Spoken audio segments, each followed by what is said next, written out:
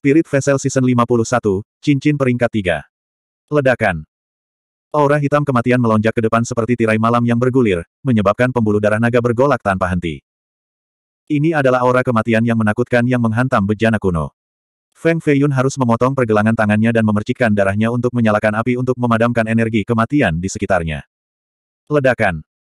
Seorang prajurit kematian terbang di atas kepala Feng Feiyun dan menabrak dinding batu yang kokoh. Tubuhnya tertanam ke dinding. Feng Feiyun sedikit melirik ke dinding batu di sebelah Dragon Vein dan sedikit terkejut. Itu adalah mayat Wan Huasu, raksasa yang sebenarnya. Pemimpin pavilion senyum kecantikan telah jatuh ke dalam pembuluh darah naga. Bahaya di depan mampu membunuh raksasa, jadi Feng Feiyun ragu-ragu dan tidak tahu apakah dia harus terus maju atau tidak. Tangisan binatang roh seribu tahun terus bergema. Itu sangat menakutkan. Bom, bom. Binatang roh yang tampak seperti naga banjir emas melarikan diri dari jauh. Ketiga kepalanya telah dipotong, enam dari delapan cakarnya telah patah, dan tubuhnya telah dipotong menjadi dua. Hanya sebagian tubuhnya, yang panjangnya beberapa puluh meter, masih kabur. Binatang buas memiliki kekuatan hidup yang kuat. Bahkan jika kepalanya dipotong, selama roh binatang buas di dalam tubuhnya tidak hancur, ia tidak akan mati. Ini adalah pemandangan yang agak menakutkan. Di atas lautan emas, tubuh makhluk roh berusia seribu tahun itu telah terbelah menjadi dua. Tiga kepalanya telah jatuh, dan darah menyembur keluar dari lehernya seperti air mancur. Namun, itu masih melarikan diri seperti binatang buas yang melarikan diri dari neraka. Binatang roh seribu tahun ini terluka parah. Asap hitam mengepul dari lukanya saat energi kematian dan energi jahat menyerang tubuhnya. Tubuh makhluk roh seribu tahun bahkan lebih kuat dari raksasa, dan kecepatannya juga jauh lebih cepat. Meskipun berhasil melarikan diri, ia tidak bisa memurnikan energi jahat di dalam tubuhnya. Pada akhirnya, ia tetap tidak bisa, tidak lolos dari kematian. Feng Feiyun menatap sungai emas dari jauh. Binatang roh yang dipenggal itu berlari tanpa arah. Meskipun makhluk roh seribu tahun itu terluka parah dengan energi jahat di dalam tubuhnya, ia tidak dapat mengerahkan 10% kekuatannya. Namun, itu masih bukan sesuatu yang bisa ditekan Feng Feiyun saat ini. Bahkan dengan perintah raja, dia masih tidak bisa mengalahkan binatang yang terluka ini. Kekuatan di dalam tubuhnya dengan cepat terkuras habis. Itu pasti energi jahat yang menghancurkan kekuatan hidupnya. Paling-paling, dalam satu jam, ia akan kehilangan 99% dari kekuatan hidupnya. Pada saat itu, saya akan mengeluarkan roh binatang buas dari tubuhnya. Jiwa binatang roh seribu tahun seharusnya cukup untuk meningkatkan cincin roh tak terbatas ke peringkat ketiga. Feng Feiyun menjadi bersemangat, tapi dia masih tidak terburu-buru untuk bergerak. Dia masih menonton. Seperti yang diharapkan Feng Feiyun, setelah satu jam, kecepatan makhluk roh seribu tahun menjadi semakin lambat. Seolah-olah itu terjebak dalam rawa. Kulitnya menjadi hitam saat energi jahat memasuki tubuhnya, menyebabkan kekuatan hidupnya terkuras habis. Energi kematian yang begitu kuat, bahkan binatang roh seribu tahun tidak bisa menghentikannya. Feng Feiyun mengeluarkan perintah raja dan langsung menebas ke arah makhluk roh seribu tahun. Perintah raja memancarkan kecemerlangan emas dan membelah tubuh makhluk roh seribu tahun menjadi dua bagian. Ledakan. Jiwa pejuang binatang spiritual sepanjang 70 meter terbang keluar dari dalam. Itu memiliki tiga kepala, delapan cakar, dan tiga pasang sayap. Itu bersinar terang dan kekuatannya sangat menakutkan. Jiwa binatang roh seribu tahun masih sangat kuat. Jika bukan karena energi jahat yang menyerang jiwanya dan menghabiskan energinya, Feng Feiyun tidak akan berani mendekatinya. Feng Feiyun menggunakan perintah raja untuk melawan jiwa binatang buas yang kelelahan. Jiwa menjadi semakin lemah, dan lolongannya menjadi semakin lembut. Segera, itu akan ditekan oleh perintah raja. Tidak bagus, kekuatan perintah raja juga melemah. Perintah raja membawa kehendak raja ilahi. Untuk mengaktifkan kehendak raja ilahi sebelumnya dan meledak dengan serangan yang kuat, diperlukan batu roh sebagai sumber energi. Kekuatan spirit stone di dalam King's Order hampir habis. Feng Feiyun segera menyimpan perintah raja dan mengaktifkan semua jiwa binatang buas di tubuhnya. Mereka berkumpul di lengannya dan dia menggunakan seluruh kekuatannya untuk meninju jiwa binatang buas. Feng Feiyun tidak memberinya kesempatan untuk beristirahat dan terus menyerang. Setiap kali dia meninju, dia mengumpulkan semua kekuatan di tubuhnya. Setelah 78 pukulan, jiwa binatang roh seribu tahun berada di ambang kematian dan tidak bisa bergerak. Feng Feiyun juga terengah-engah. Roh ki di tubuhnya sangat terkuras. Itu tidak mudah untuk berurusan dengan jiwa binatang roh seribu tahun. Biasanya, bahkan jika Feng Feiyun memiliki jiwa Phoenix di tubuhnya, dia tidak akan mampu menekan jiwa binatang buas. Hari ini, Feng Feiyun memiliki keuntungan waktu dan tempat. Selain itu, makhluk roh seribu tahun itu terluka parah, jadi dia memiliki kesempatan untuk menaklukkannya. Feng Feiyun mengeluarkan Infinite Spirit Ring dan mengaktifkan enam diagram di dalamnya, menyebabkan mereka memancarkan cahaya hitam yang menakutkan. Formasi mulai bergerak di atas ring saat cahaya hitam menjadi semakin terang, berubah menjadi matahari hitam. Membuka. Feng Feiyun menyalurkan aura bejana kuno untuk menekan cincin itu. Dia dengan paksa membuka celah pada cincin roh tak terbatas dan menciptakan pusaran hisap untuk menyedot jiwa binatang roh seribu tahun di dalamnya. Aku harus menerobos ke peringkat ketiga. Aku harus menerobos ke peringkat ketiga. Feng Feiyun bergumam. Ada perbedaan mendasar antara senjata roh kelas 3 dan senjata roh kelas 2. Perbedaan kekuatan sangat besar, seperti perbedaan antara anak laki-laki berusia 12 atau 13 tahun dan bayi. Di sisi lain, senjata roh kelas 4 adalah panglima perang bersenjata lengkap. Perbedaan kekuatan pertempuran terlalu besar. Satu peringkat seperti perbedaan antara langit dan bumi. Ini masih sedikit kurang. Roh jiwa binatang roh seribu tahun tidak bisa membuat cincin roh tak terbatas menjadi harta roh peringkat ketiga. Itu masih satu tingkat lagi. Feng Feiyun sedikit kecewa. Pada saat ini, cincin roh tak terbatas berada di puncak peringkat kedua. Itu hanya selebar rambut dari harta roh peringkat ketiga, tapi ada perbedaan mendasar dalam kekuatan. Satu berada di langit sementara yang lain berada di tanah. Batu Roh Sutra Emas. Sebuah cahaya melintas di benak Feng Feiyun saat dia memikirkan Batu Roh Sutra Emas. Batu Roh Sutra Emas memiliki spiritualitas yang sangat kuat, terutama sutra emas di dalamnya. Itu benar-benar akar roh. Hanya satu sutra emas yang dibutuhkan untuk harta roh semu untuk melahirkan spiritualitasnya sendiri dan menjadi harta roh peringkat pertama. Pada saat ini, cincin roh tak terbatas telah mencapai puncak peringkat kedua. Itu hanya membutuhkan seutas spiritualitas sebelum bisa memasuki ambang peringkat ketiga. Spiritualitas batu roh sutra emas dapat memungkinkannya untuk sepenuhnya masuk ke jajaran harta roh peringkat ketiga. Feng Feiyun dengan cepat mengeluarkan batu roh sutra emas. Dia tidak berpikir terlalu banyak dan langsung mengeluarkan sutra emas setipis rambut. Dia sekali lagi membuka pintu roh cincin roh tak terbatas dan memasukkan sutra emas ini ke dalamnya. Setelah sutra emas memasuki harta roh, dengan cepat meleleh dan berubah menjadi lautan emas yang penuh dengan spiritualitas. Spiritualitasnya telah meningkat satu tingkat. Feng Feiyun bahkan lebih gembira. Dia dengan cepat memasukkan sutra emas kedua ke dalam cincin roh tak terbatas, diikuti oleh yang ketiga, keempat, kelima, dan keenam. Ledakan. Cincin roh tak terbatas akhirnya mengalami transformasi. Suara surgawi dan lolongan binatang datang dari dalam. Cincin roh tak terbatas terbang keluar dari tangan Feng Feiyun dan terus berputar, mengeluarkan suara, ding-ding, seolah-olah itu bahagia. Cincin roh tak terbatas telah mencapai tingkat harta karun roh peringkat ketiga. Keenam diagram pada Infinite Spirit Ring menjadi semakin nyata. Seolah-olah mereka mengembun menjadi enam dunia besar dengan aura yang menakutkan. Feng Feiyun menyalurkan semua kekuatan di tubuhnya untuk membangkitkan cincin roh tak terbatas. Formasi diaktifkan, dan seberkas cahaya roh ditembakkan. Itu terbang sejauh 800 mil dan membunuh binatang aneh berusia 800 tahun yang terendam di Dragon Vein. Haha, Feng Feiyun tertawa terbahak-bahak. Dengan harta roh peringkat ketiga ini, kecakapan bertarungnya telah meningkat pesat.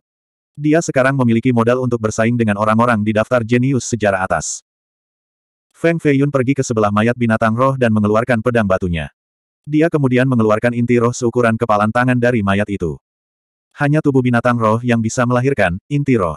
Ini mirip dengan istana dantian dan valet seorang kultivator. Itu berisi energi roh paling murni dan hukum dao dari binatang roh.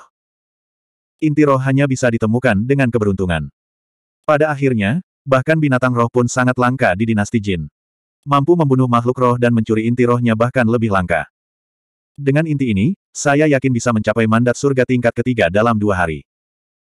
Kultivasi Feng Feiyun sudah cukup, satu-satunya kekurangannya adalah jumlah energi roh di tubuhnya. Binatang roh memiliki inti dengan energi murni yang dapat dengan mudah diserap oleh tubuh manusia. Ini akan memungkinkan energi ungu di tubuh Feng Feiyun tumbuh dengan cepat. Saat ini, Feng Feiyun memiliki 73.000 helai energi ungu. Selama dia bisa mengolah 100.000 helai, dia akan bisa mencapai mandat surga tingkat ketiga. Begitu itu terjadi, Feng Feiyun akan memiliki kekuatan untuk bersaing dengan para jenius tertinggi di daftar teratas. Mayoritas jenius ini terjebak di mandat surga tingkat keempat. Bakat Feng Feiyun lebih tinggi dari bakat mereka.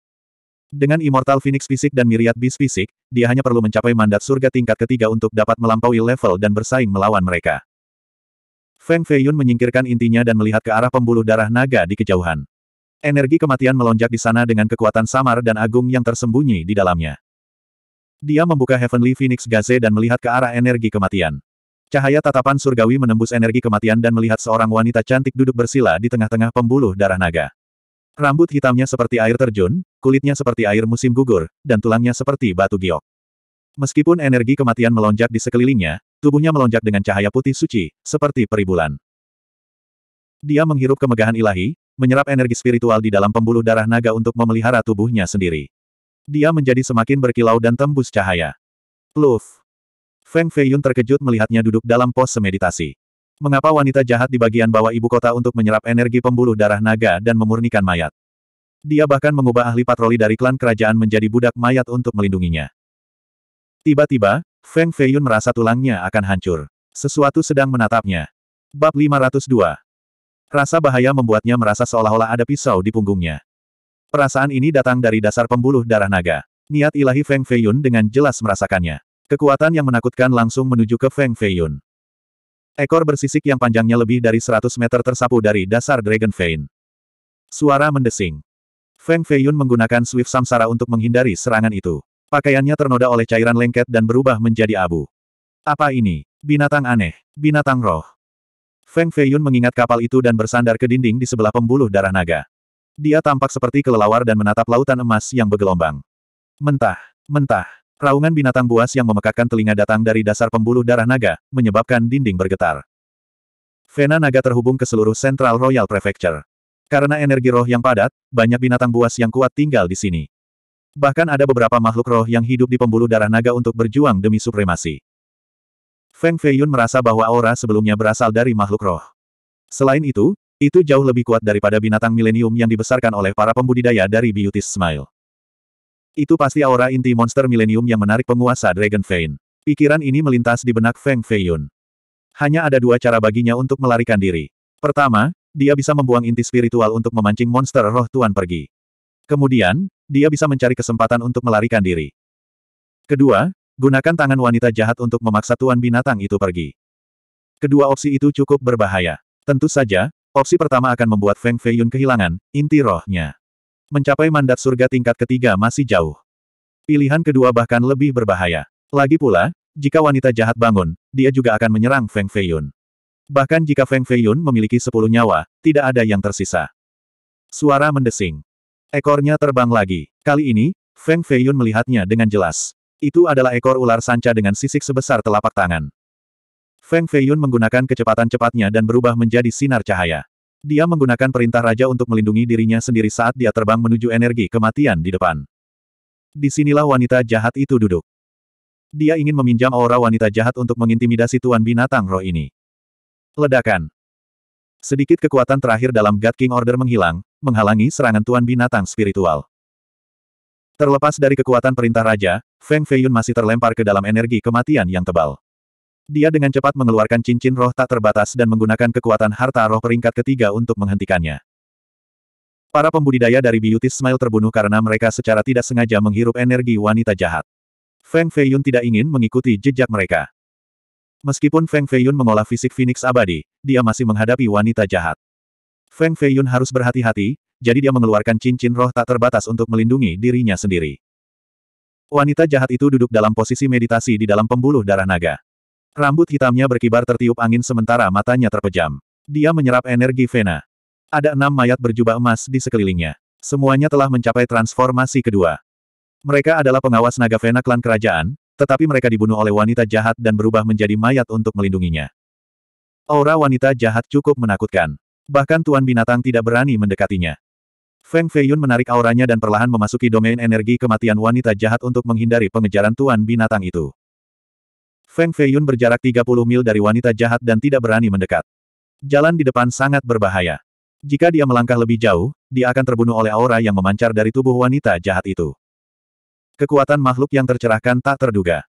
Satu nafas dari Enlightened Being sudah cukup untuk menerbangkan tubuh Feng Feiyun dan mengubahnya menjadi pasir berdarah. Makhluk tercerahkan dapat membunuh raksasa dari jarak 10.000 mil dengan jentikan jarinya.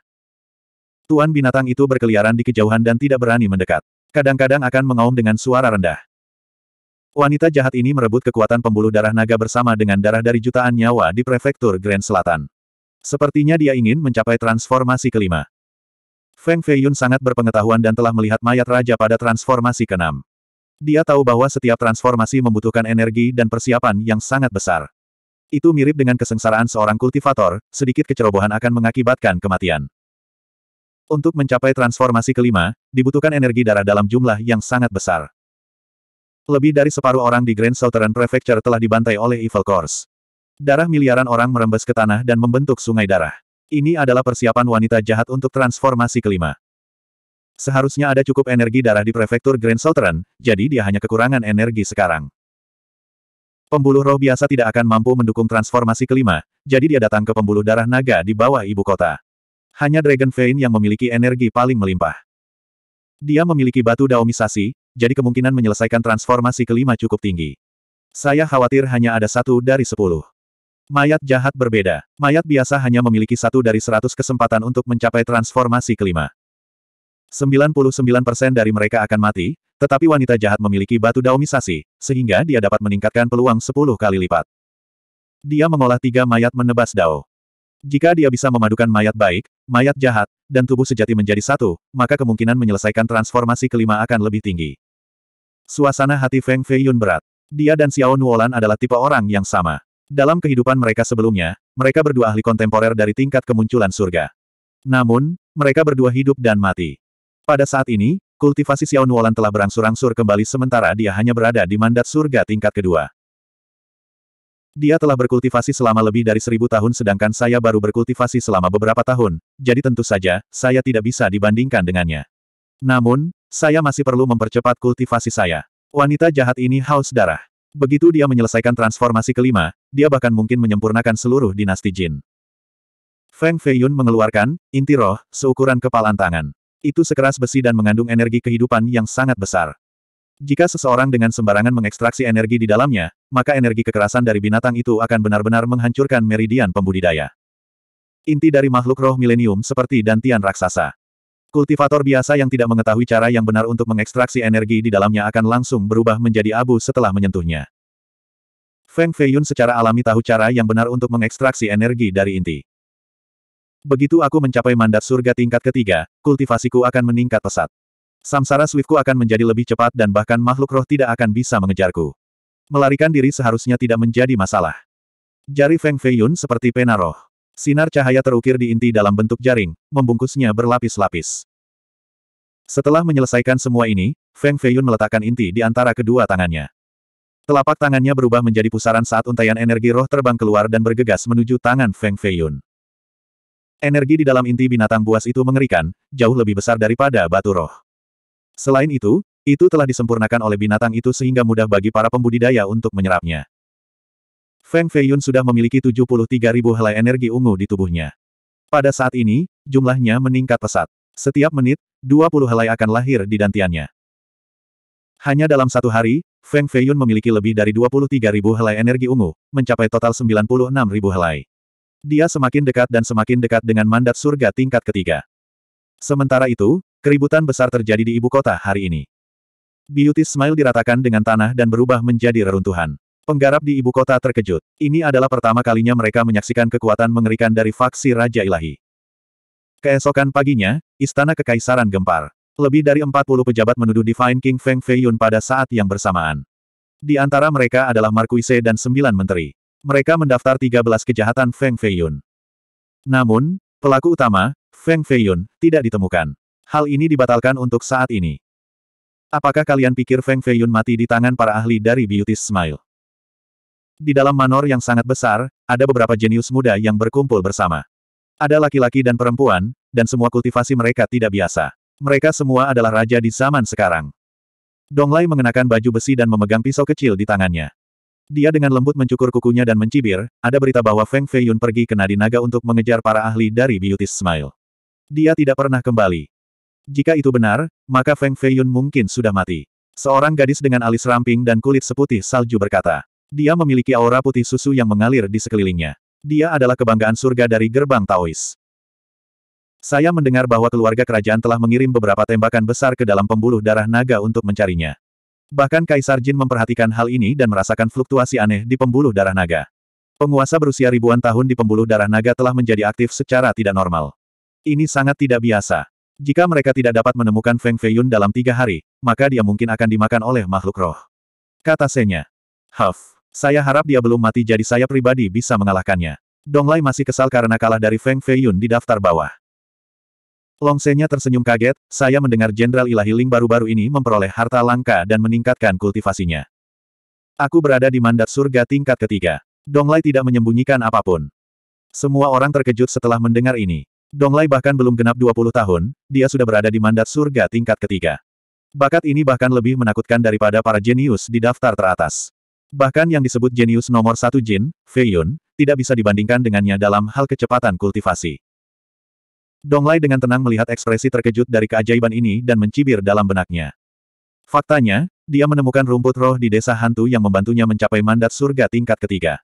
Sekarang, dia memperoleh harta karun lain dan mencapai mandat surga tingkat ketiga puncak. Jika saya memberitahu orang-orang ini bahwa saya akan mencapai mandat surga tingkat keempat, saya bertanya-tanya betapa terkejutnya mereka. Donglai tentu saja tidak akan mengatakan ini dengan lantang. Bab 503. Energi roh di dalam pembuluh darah naga setebal cairan. Feng Feiyun duduk di atas Vena sambil melayang di udara. Inti roh di tangannya masih penuh dengan energi roh. Untaian energi roh yang tak terhitung jumlahnya bergegas menuju tubuh Feng Feiyun. Itu sudah mencapai 99 ribu helai ki spiritual kerajaan Valet. Feng Feiyun mengalihkan perhatiannya ke dantiannya dan mulai memperluas istana pusatnya. Dia ingin memperluas wilayahnya dan membuka ruang yang lebih luas untuk menampung lebih banyak energi ungu. Mandat surga dibagi menjadi sembilan tingkat. Masing-masing dari tiga level adalah ambang batas. Tingkat pertama, kedua, dan ketiga hanya diperlukan untuk menumbuhkan energi ungu. Selama istana pusat memiliki energi ungu yang cukup, seseorang akan dapat menerobos. Fei Yun telah mencapai mandat surga tingkat ketiga sejak lama dan hanya kekurangan energi ungu. Setelah membudidayakan seratus ribu helai, dia akan dapat mencapai mandat surga tingkat ketiga. Istana pusatnya akan menjadi lebih padat. Istana pusat seluas lautan dengan energi ungu yang melonjak seolah-olah langit dan bumi telah terbelah. Ledakan. Awan ungu mekar di istana pusat dengan kecemerlangan seterang matahari. Energi roh itu sama ganasnya dengan binatang buas. Tiba-tiba, ledakan keras terdengar dari istana Valet. Tubuh Fei Yun bergetar saat lingkaran ungu terpancar dari dalam keluar untuk mengguncang Dragon Vein.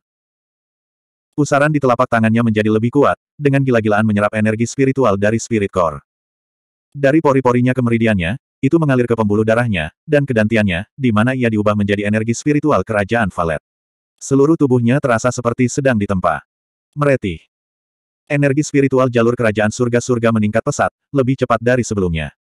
Dalam sekejap mata, seratus helai energi spiritual jalan kerajaan surga-surga dipadatkan. 99.100 helai, 99.200 helai, 99.300 helai. Ledakan. 100.000 helai energi ungu. Seluruh istana pusat istana ungu tiba-tiba meluas, menjadi sepuluh kali lebih besar. Seratus ribu helai Purple Palace Spirit Ki berlari dengan liar di dalam, seperti seratus ribu binatang buas, melonjak dengan hebat. Feng Feiyun telah mencapai tingkat ketiga dari mandat surga. Pada level ini, Feng Feiyun memiliki kekuatan untuk melawan para ahli di daftar teratas. Dia mungkin berada pada posisi yang kurang menguntungkan tetapi mereka berada di level yang sama. Feiyun berhenti berkultivasi. Dia hanya menyerap sejumlah kecil energi dari inti roh di tangannya, bahkan tidak sepersepuluh dari jumlah aslinya. Inti ini sebanding dengan dantian raksasa, cukup untuk mendukungku hingga setengah langkah. Selain itu, kecepatan kultivasiku akan jauh lebih cepat daripada yang lain. Feng Feiyun menyingkirkan intinya. Ini adalah harta yang tak ternilai. Feng Feiyun kemudian mengeluarkan perintah raja. Energi di dalamnya telah benar-benar habis. Dia perlu mengisinya kembali untuk menggunakan kekuatan Raja Ilahi sebelumnya. Feng Feiyun secara alami membutuhkan kekuatan perintah raja untuk melarikan diri dari para penguasa ini. Feiyun mengaktifkan formasi dalam perintah raja dan mengeluarkan batu roh misterius sejati untuk dimasukkan ke dalam alur. Formasi berputar dan menyerap energi spiritual dari batu roh dengan hirup pikuk. Hanya dalam waktu dua napas, energi spiritual dari batu roh diserap sepenuhnya dan berubah menjadi bubuk. Sangat cepat. Satu batu roh misterius sejati sudah cukup untuk mendukung kultivator mandat surga tingkat pertama selama dua tahun, namun perintah raja menyerapnya hanya dalam dua napas. Feng Feiyun merasa sedikit tertekan. Dia mengeluarkan batu kedua dan meletakkannya ke dalam alur. Ledakan. Dua napas kemudian, batu itu berubah menjadi debu lagi. Perintah raja sangat kuat tetapi konsumsi energinya sangat besar. Feng Feiyun menempatkan 743 batu berturut-turut sebelum pesanan penuh lagi. Ya Tuhan, ini terlalu boros batu roh.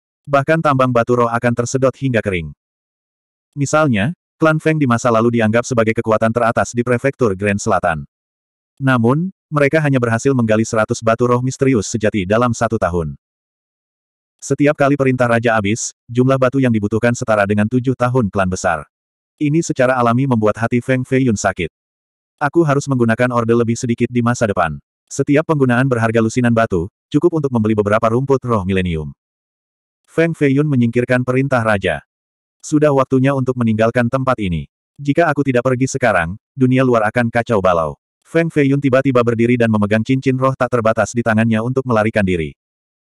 Namun, saat ini, tiga sinar cahaya terbang dari Dragon Vein. Mereka adalah tiga karakter hebat yang mengenakan jubah resmi. Kultivasi mereka sangat kuat. Binatang aneh semua mundur saat mereka terbang di atas Dragon Vein. Mereka ditekan oleh aura mereka dan dipaksa tenggelam ke dalam Dragon Vein.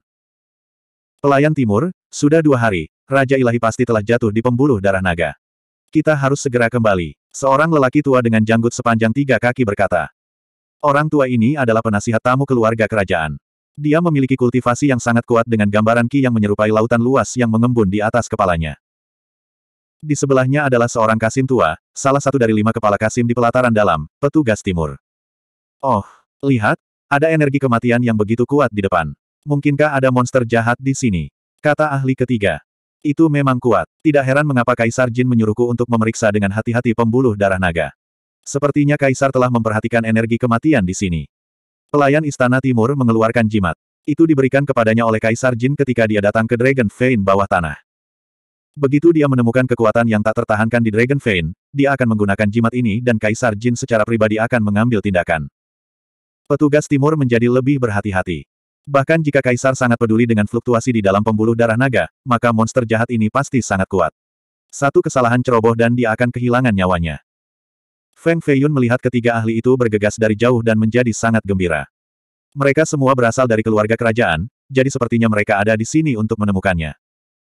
Feng Feiyun menyingkirkan cincin roh tak terbatas. Dengan perlindungan dari ketiga ahli ini, dia tidak takut dengan penguasa binatang buas.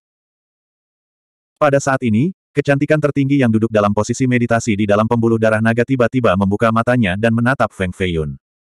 Tidak bagus, wanita jahat telah bangun. Jantung Feng Feiyun berdetak kencang. Wanita jahat itu tiba-tiba berdiri. Sosok anggunnya ditutupi lapisan cahaya putih redup. Tubuhnya tetap diam saat kulitnya berubah menjadi batu. Dia langsung terbang menuju Feng Feiyun dan mendarat di tangan Feng Feiyun. Itu telah berubah menjadi boneka batu seukuran telapak tangan. Boneka ini terlihat persis seperti wanita jahat dengan fitur wajah yang indah dan sosok yang mempesona. Rasanya agak dingin di tangannya. Feng Feiyun secara naluriah ingin membuang boneka itu. Kamu sebaiknya tidak bergerak atau kepalamu akan terpisah dari tubuhmu. Suara wanita jahat itu berasal dari boneka itu. Energi dingin ini hampir membekukan jiwa Feng Feiyun. Tangan Feng Feiyun gemetar dan hampir menjatuhkan boneka itu. Feng Feiyun memiliki keinginan untuk mengutuk. Kakak, jangan mempermainkanku. Jika kau bersembunyi padaku dan niat suci Kaisar Jin mengetahuinya, kita berdua akan mati. Wanita jahat secara alami tidak takut pada tiga ahli dari keluarga kerajaan. Dia takut pada Kaisar Jin di bawah tanah. Bagaimanapun, dia adalah orang nomor satu di dinasti. Gengsi Kaisar bisa menghalangi makhluk tercerahkan. Karena pemerintahannya, dinasti belum terjerumus ke dalam kekacauan. Wanita jahat tidak mengatakan apa-apa lagi. Fei Yun memegang boneka di tangannya. Dia tidak tahu apakah akan membuangnya atau menyimpannya di tangannya. Pada akhirnya, dia mengambil keputusan dan memasukkan boneka itu ke saku dadanya. Dia meletakkannya di bawah ketiaknya dan menyembunyikannya. Kamu adalah orang yang pertama tidak berperasaan, jadi jangan salahkan aku karena tidak adil. Sudah bagus aku tidak memasukkanmu ke dalam celanaku. Feng Feiyun berpikir sendiri. Tiga ahli dari keluarga kerajaan terbang dan melayang di atas Dragon Vein. Tubuh mereka memancarkan cahaya terang seperti tiga dewa. Aneh, Mengapa energi kematian memudar? Petugas timur mencengkeram jimat itu dan sedikit mengernyit. Karena wanita jahat telah berubah menjadi boneka, energi kematian secara alami menghilang. Membantu, membantu. Teriakan minta tolong sampai ke telinga ketiga ahli itu. Mereka mengikuti suara itu dan melihat Feng Feiyun bertarung melawan enam mayat. Keenam mayat ini disempurnakan oleh wanita jahat dan dulunya adalah pengawas naga Vena klan kerajaan. Feng Feiyun memiliki luka yang tak terhitung jumlahnya di tubuhnya dengan darah yang menetes. Dia masih meminta bantuan, tolong. Ya, Yang Mulia. Petugas timur adalah yang pertama tiba. Dia melambaikan lengan bajunya dan gelombang energi roh emas ditembakkan untuk menerbangkan tiga mayat. Mayat mereka tercabik-cabik. Dua ahli lainnya dari klan kerajaan juga mengambil tindakan untuk membunuh mayat yang tersisa. Feng Feiyun takut para ahli ini akan merasakan aura wanita jahat, jadi dia dengan cepat mengencangkan cengkeramannya dan berkata, Terima kasih, tuan-tuan, atas bantuan Anda. Saya sangat berterima kasih. Petugas timur menjadi curiga dan menyebarkan niat sucinya untuk memeriksa sekeliling sebelum bertanya, Yang mulia, mengapa Anda ada di sini? Penampilan Feng Feiyun di sini terlalu aneh. Jika dia tidak dikelilingi oleh enam mayat sebelumnya, ketiga ahli itu akan curiga padanya. Um, ceritanya panjang. Aku hampir mati pada mayat-mayat itu sebelumnya. Itu terlalu menakutkan, terlalu menakutkan. Untungnya, tuan-tuan datang untuk menyelamatkanku. Aku harus melaporkan ini kepada Kaisar Jin dan meminta dia memberiku hadiah yang sesuai. Feng Feiyun sengaja mengubah topik. Penasihat tamu kerajaan tertawa dan menjadi sedikit sombong, kami diperintahkan oleh Kaisar Jin untuk menemukan yang mulia. Inilah yang harus kami lakukan, jadi tidak perlu hadiah. Tentu saja, tentu saja. Ayo, mari kita tinggalkan tempat terkutuk ini dulu. Aku akan berbicara dengan kalian secara detail. Feng Feiyun berkata dan terbang menuju pintu keluar Dragon Vein. Ketiga ahli itu ingin melihat lebih dekat, tetapi mereka tidak bisa melawan kehendak Raja Ilahi. Jadi, mereka mengikuti Feng Feiyun dan meninggalkan Dragon Vein menuju ibu kota di permukaan. Bab 504. Itu terlalu mendebarkan, terlalu mendebarkan. Raja ini mengendarai angin dan ombak, melintasi pembuluh darah naga yang bergejolak, membunuh binatang aneh dan membunuh musuh yang kuat. Yang selamat dari Beauty Smile semuanya ahli, tapi aku hanya perlu melambaikan lambang Raja Ilahi dan lusinan dari mereka dihancurkan sampai mati oleh kekuatan Raja Ilahi masa lalu. Aku melambaikannya lagi dan lebih banyak lagi yang mati. Pertempuran ini berlangsung selama dua hari dua malam. Tujuh atau delapan raja tewas. Semua master lainnya mati di bawah pedangku. Batuk, batuk, tentu saja, bukan karena mereka tidak cukup kuat, hanya saja mereka seharusnya tidak menjadikanku musuh mereka. Feng Feiyun meriwayatkan dengan hidup. Air liurnya kembali ke tubuhnya dan dia mengangkat tangan dan kakinya seolah mengatakan yang sebenarnya. Tiga master kekaisaran tercengang dan takjub. Pada akhirnya, saya bertemu dengan musuh paling menakutkan dalam hidup saya. Pria ini tingginya lebih dari 100 meter dan jari-jarinya setebal pilar. Dia meraung seperti guntur dan ketika dia menginjakan kakinya, langit runtuh.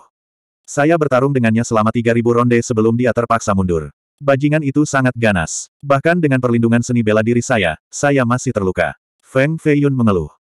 Segera, mereka tiba di istana Raja Ilahi.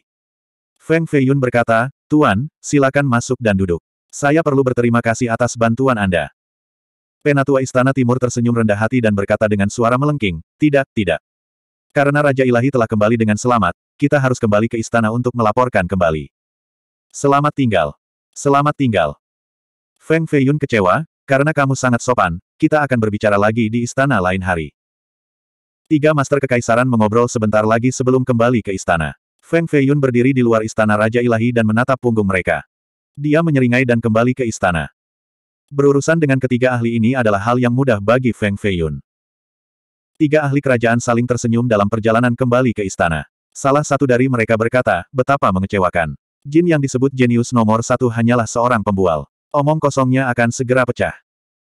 Haha, untuk bisa duduk di singgasana di usia yang begitu muda, mulutmu secara alami lebih baik dari yang lain. Pakar sejati tidak mengandalkan mulut mereka untuk bertahan hidup. Ayo pergi. Kita harus kembali dan melaporkan, semuanya akan diputuskan oleh Kaisar Jin.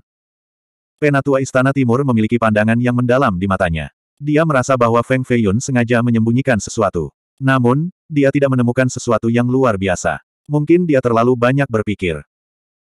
Feng Feiyun dengan cepat memasuki ruang paling rahasia dari rumah Raja Ilahi dan mengaktifkan formasi pertahanan untuk mengisolasi auranya. Baru saat itulah dia mengeluarkan golem yang ada di bawah lengannya. Suara mendesing. Cahaya menyilaukan dipancarkan dari golem dan terbang keluar dari telapak tangan Feng Feiyun. Sinar putih susu melintas tanpa henti sebelum menyatu untuk mengungkapkan seorang wanita cantik mengenakan jubah Buddha putih murni yang disulam dengan teratai. Alisnya seperti pohon willow dan hidungnya seterang batu giok. Dia tinggi dan ramping dengan cahaya redup mengalir di kulitnya. Seolah-olah dia diukir dari batu roh. Rambut panjang wanita jahat menyentuh tanah. Matanya sedingin hantu putih. Penglihatan Feng Feiyun kabur. Detik berikutnya, lehernya menjadi dingin. Jari-jarinya telah meraihnya. Yang mulia, harap tenang. Saya dipaksa oleh situasi sebelumnya, saya tidak punya pilihan lain. Aku tidak bermaksud tidak menghormatimu. Feng Feiyun tidak khawatir. Aura pembunuh dari wanita jahat itu sangat kuat. Seluruh ruangan membeku dengan kabut putih. Wanita terkutuk ini terlalu suka mencekik orang. Fei Yun sudah memiliki rencana untuk menangani ini, tetapi wanita jahat telah mencekik raksasa sampai mati sebelumnya, jadi dia agak ragu. Pupil hitam wanita jahat menatap langsung ke mata Feng Fei Yun. Orang biasa akan ketakutan setengah mati setelah ditatap begitu dekat olehnya. Namun, Feng Feiyun masih setenang biasanya. Setelah beberapa saat, wanita jahat itu akhirnya berbicara, beri aku kapal kuno itu. Tangannya tidak meninggalkan leher Feng Feiyun dan menjadi lebih erat. Aura dinginnya menyebabkan Feng Feiyun mati lemas. Dia secara alami mengacu pada kapal perunggu. Mendesah. Kapal telah diberikan kepada karakter yang hebat. Jangan menatapku seperti itu, aku mengatakan yang sebenarnya. Kalau tidak, bagaimana saya bisa duduk di singgasana Raja Ilahi? Di dinasti Jin, untuk menjadi pejabat, seseorang harus membayar dengan harta. Feng Feiyun tahu bahwa wanita jahat tidak tahu tentang sistem resmi dinasti Jin, jadi dia berani menggertak. Wanita jahat tidak peduli dengan perebutan kekuasaan atau ambisi dinasti. Dia hanya peduli tentang kultivasi dan dao surgawi. Bahkan jika Feng Feiyun memberitahunya bahwa dia membeli posisi resminya, dia belum tentu tahu yang sebenarnya. Dia telah ditipu oleh Feng Feiyun lebih dari sekali, jadi dia secara alami tidak akan mempercayainya dengan mudah. Dia hanya mempercayai matanya sendiri. Jika kamu berani berbohong padaku, aku akan membunuhmu sekarang bahkan tanpa meninggalkan tulangmu. Seutas energi roh merembes keluar dari jarinya dan memasuki tubuh Feng Feiyun. Ia melakukan perjalanan melalui meridian dan darahnya untuk menjelajahi setiap bagian tubuh Feng Feiyun. Yang mulia, jika Anda membunuh saya, Kaisar Jin akan diperingatkan. Anda harus berpikir dua kali. Feng Feiyun berpura-pura gemetar sambil membiarkan energi mengalir ke seluruh tubuhnya. Feng Feiyun tahu bahwa wanita jahat akan mencuri kapalnya, jadi dia diam-diam memindahkannya ke batu roh batas dalam perjalanan pulang. Dia menyegel auranya sehingga dia tidak takut dengan penyelidikannya. Wanita jahat menarik energi rohnya dan mengendurkan jari-jarinya. Vessel itu memang tidak ada di tubuhnya. Mengingat sifatnya yang haus darah, dia bisa langsung membunuh Feng Feiyun. Namun, seperti yang dikatakan Feng Feiyun, membunuh Feng Feiyun akan mengingatkan Kaisar Jin. Dia masih perlu menyerap kekuatan pembuluh darah naga, jadi itu tidak akan menguntungkannya sama sekali. Tatapan wanita jahat tiba-tiba beralih ke batu roh batas di pinggang Feng Feiyun dengan ekspresi serius. Feng Feiyun merasakan tatapannya dan jantungnya berdetak kencang. Jika dia menemukan kapal di dalam batu roh batas, maka dia akan kehilangan nyawa dan hartanya. Dia dengan cepat menekan batu itu dan menangis sambil berpura-pura menyedihkan, Yang mulia, jangan bilang kamu ingin mencuri batuku lagi. Terakhir kali, Anda mengambil batu daumisasi saya, jadi kali ini, Anda ingin mengambil batu roh batas ini juga. Saya, hidup saya sangat pahit. Ingus dan air mata Feng Feiyun mengalir di wajahnya dengan sangat sedih. Wanita jahat itu berdiri di sana selurus pensil. Dia mengalihkan pandangannya dan dengan dingin bertanya, kepada siapa kamu memberikan bejana itu? Feng Feiyun berhenti menangis dan berdiri, kanselir agung saat ini, Beiming Mosou. Wanita jahat itu bertanya, apakah dia sangat kuat? Tentu saja. Dia adalah master klan dari klan Beiming, salah satu dari empat klan besar di atas menjadi pemimpin dari tiga adipati di dinasti Jin. Bahkan tokoh besar dunia kultivasi mewaspadai dia. Hehe, tentu saja di hadapanmu, dia hanyalah sebutir pasir atau setetes air. Satu tamparan bisa membuatnya terbang. Feng Feiyun tersanjung. Wanita jahat itu sedikit meliriknya dan berkata, bakatmu tidak buruk. Jika kamu fokus pada dao abadi, pencapaianmu tidak akan rendah. Godaan kekuatan duniawi hanya akan menunda kultivasimu. Dia benar-benar mengatakan sesuatu yang manusiawi. Feng Feiyun cukup terkejut. Wanita jahat yang haus darah bisa berbicara bahasa manusia sekarang. Ini tidak bisa dipercaya.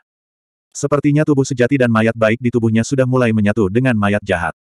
Wanita jahat telah mengembangkan jejak kemanusiaan dan bukan lagi hanya inkarnasi dari niat membunuh. Feng Feiyun memiliki pemikiran ini. Feng Feiyun tidak menunjukkan pikirannya dan berkata, setiap orang memiliki aspirasinya sendiri. Memasuki dan meninggalkan dunia adalah bagian dari kultivasi. Sejak zaman kuno, ada orang yang bisa menjadi abadi dan suci. Aku akan membiarkanmu hidup hari ini untuk membayar karma mencuri batu daumisasi. Wanita jahat melambaikan lengan bajunya dan formasi di ruangan terbuka. Sosoknya langsung menghilang tanpa jejak. Perbedaan kultivasi terlalu besar sehingga Feng Feiyun tidak bisa melihat bagaimana dia pergi. Yang mulia, semoga perjalanan Anda aman. Setelah Anda memiliki wadahnya, Anda harus mengirimi saya pesan. Feng Feiyun menarik napas dalam-dalam. Dia akhirnya bisa mengundang Dewa Agung ini pergi. Jika wanita jahat itu benar-benar pergi ke Beiming Mosou untuk mengambil kapal, maka akan ada pertunjukan yang bagus untuk ditonton. Ketika kultivasi seseorang rendah, mereka hanya bisa menggunakan metode licik seperti itu. Ketika kultivasi seseorang rendah, mereka tidak akan menggunakan metode curang seperti itu. Orang seperti itu tidak akan hidup lama. Tentu saja, pemimpin klan Phoenix tidak akan bertindak seperti penjahat, bertindak seperti pengecut, atau bertindak seperti pengecut. Ini semua adalah spesialisasi Tuan Muda Feng. Apa, Maestro Ye pergi? Feng Feiyun bertemu dengan Buddha Maitreya dan Ning Feng Xian di rumah Raja Ilahi. Feng Feiyun secara alami harus berterima kasih kepada dua orang hebat ini karena telah membantunya. Penolong Ye memintaku untuk menyampaikan pesan kepada penolong Feng Xian. Dia berkata bahwa di dunia fana, hati seseorang harus mengikuti angin. Dia sudah sangat berterima kasih karena Anda pergi ke pavilion putri tersenyum untuk menyelamatkannya. Dia tidak akan pernah melupakan kebaikan ini. Meskipun Buddha Maitreya tampaknya berusia sekitar tujuh atau delapan tahun, kata-katanya membawa aura yang bermartabat seolah-olah dia telah melihat melalui perubahan dunia. Dia memegang tasbih Buddha dengan ekspresi serius. Bagaimana bisa kau membiarkannya pergi seperti ini? Bukankah terlalu berbahaya baginya untuk pergi sendirian? Feng Feiyun mengkhawatirkan Xiao Xiang dan mengerti mengapa dia ingin pergi. Buddha berkata bahwa segala sesuatu mengikuti hati. Begitu hati ada, semua hukum tidak dapat dihentikan. Buddha Maitreya mengatupkan kedua telapak tangannya dan memegang tasbih Buddha. Dia menutup matanya dan bernyanyi. Setelah nyanyian itu, Feng Feiyun tiba-tiba terbang keluar dari mansion untuk mengejar Xiao Xiang. Meskipun dia tahu bahwa mereka berdua berasal dari dua dunia yang berbeda dan tidak bisa memberikan masa depan yang dia inginkan, Feng Feiyun masih sedikit khawatir dia pergi seperti ini. Bab 505 Jalan-jalan dan lorong-lorong ibu kota ilahi sangat dingin selama hari bersalju ini. Xiao Xiang berjalan melewati salju dan tiba di gerbang megah ibu kota dewa. Tiba-tiba, dia berhenti dan melihat ke belakang. Dia ingin melarikan diri dari penjara ini berkali-kali, meninggalkan ibu kota immortal, meninggalkan Beauty's Smile. Sekarang dia akhirnya akan pergi, dia tidak merasa bahagia sama sekali. Sebaliknya, dia merasa enggan. Dia tidak riang seperti yang dia pikirkan. Beli bubur teratai es surgawi. Lima koin semangkuk. Suara seorang lelaki tua datang dari sudut jalan. Lelaki tua itu melambaikan sendok besi besar dan membeli bubur dari gudang tua lusuh di bawah gerbang kota. Bubur di dalam panci sudah matang hingga garing, dan uap mengepul darinya. Salju yang dingin mengalir ke dalam gudang, tetapi sebelum bisa mengapung ke dalam panci, salju itu meleleh karena panas. Apakah benar ada hal seperti itu di dunia ini? Xiao Xiang tanpa sadar berjalan ke bagian bawah gudang yang rusak. Bahkan dia sendiri tidak tahu mengapa dia berhenti di sini. Orang tua itu sangat antusias. Dia memasukkan sendok ke dalam panci dan menyekat tangannya di jubahnya. Nona, Anda khawatir. Minumlah bubur penghilang khawatir teratai es bunga surgawi saya, dan Anda pasti akan bebas dari rasa khawatir. Bagaimana kau tahu aku khawatir? Xiao Xiang berdiri di salju, bulu matanya berkibar. Kepingan salju jatuh di kepala dan bahunya, membentuk lapisan tipis. Orang tua itu berkata, kebanyakan gadis yang terlalu cantik memiliki kekhawatiran. Beberapa menginginkan cinta sejati, tetapi takut orang lain hanya akan bernafsu pada kecantikan mereka. Beberapa menginginkan kedamaian, tetapi ditakdirkan untuk diganggu.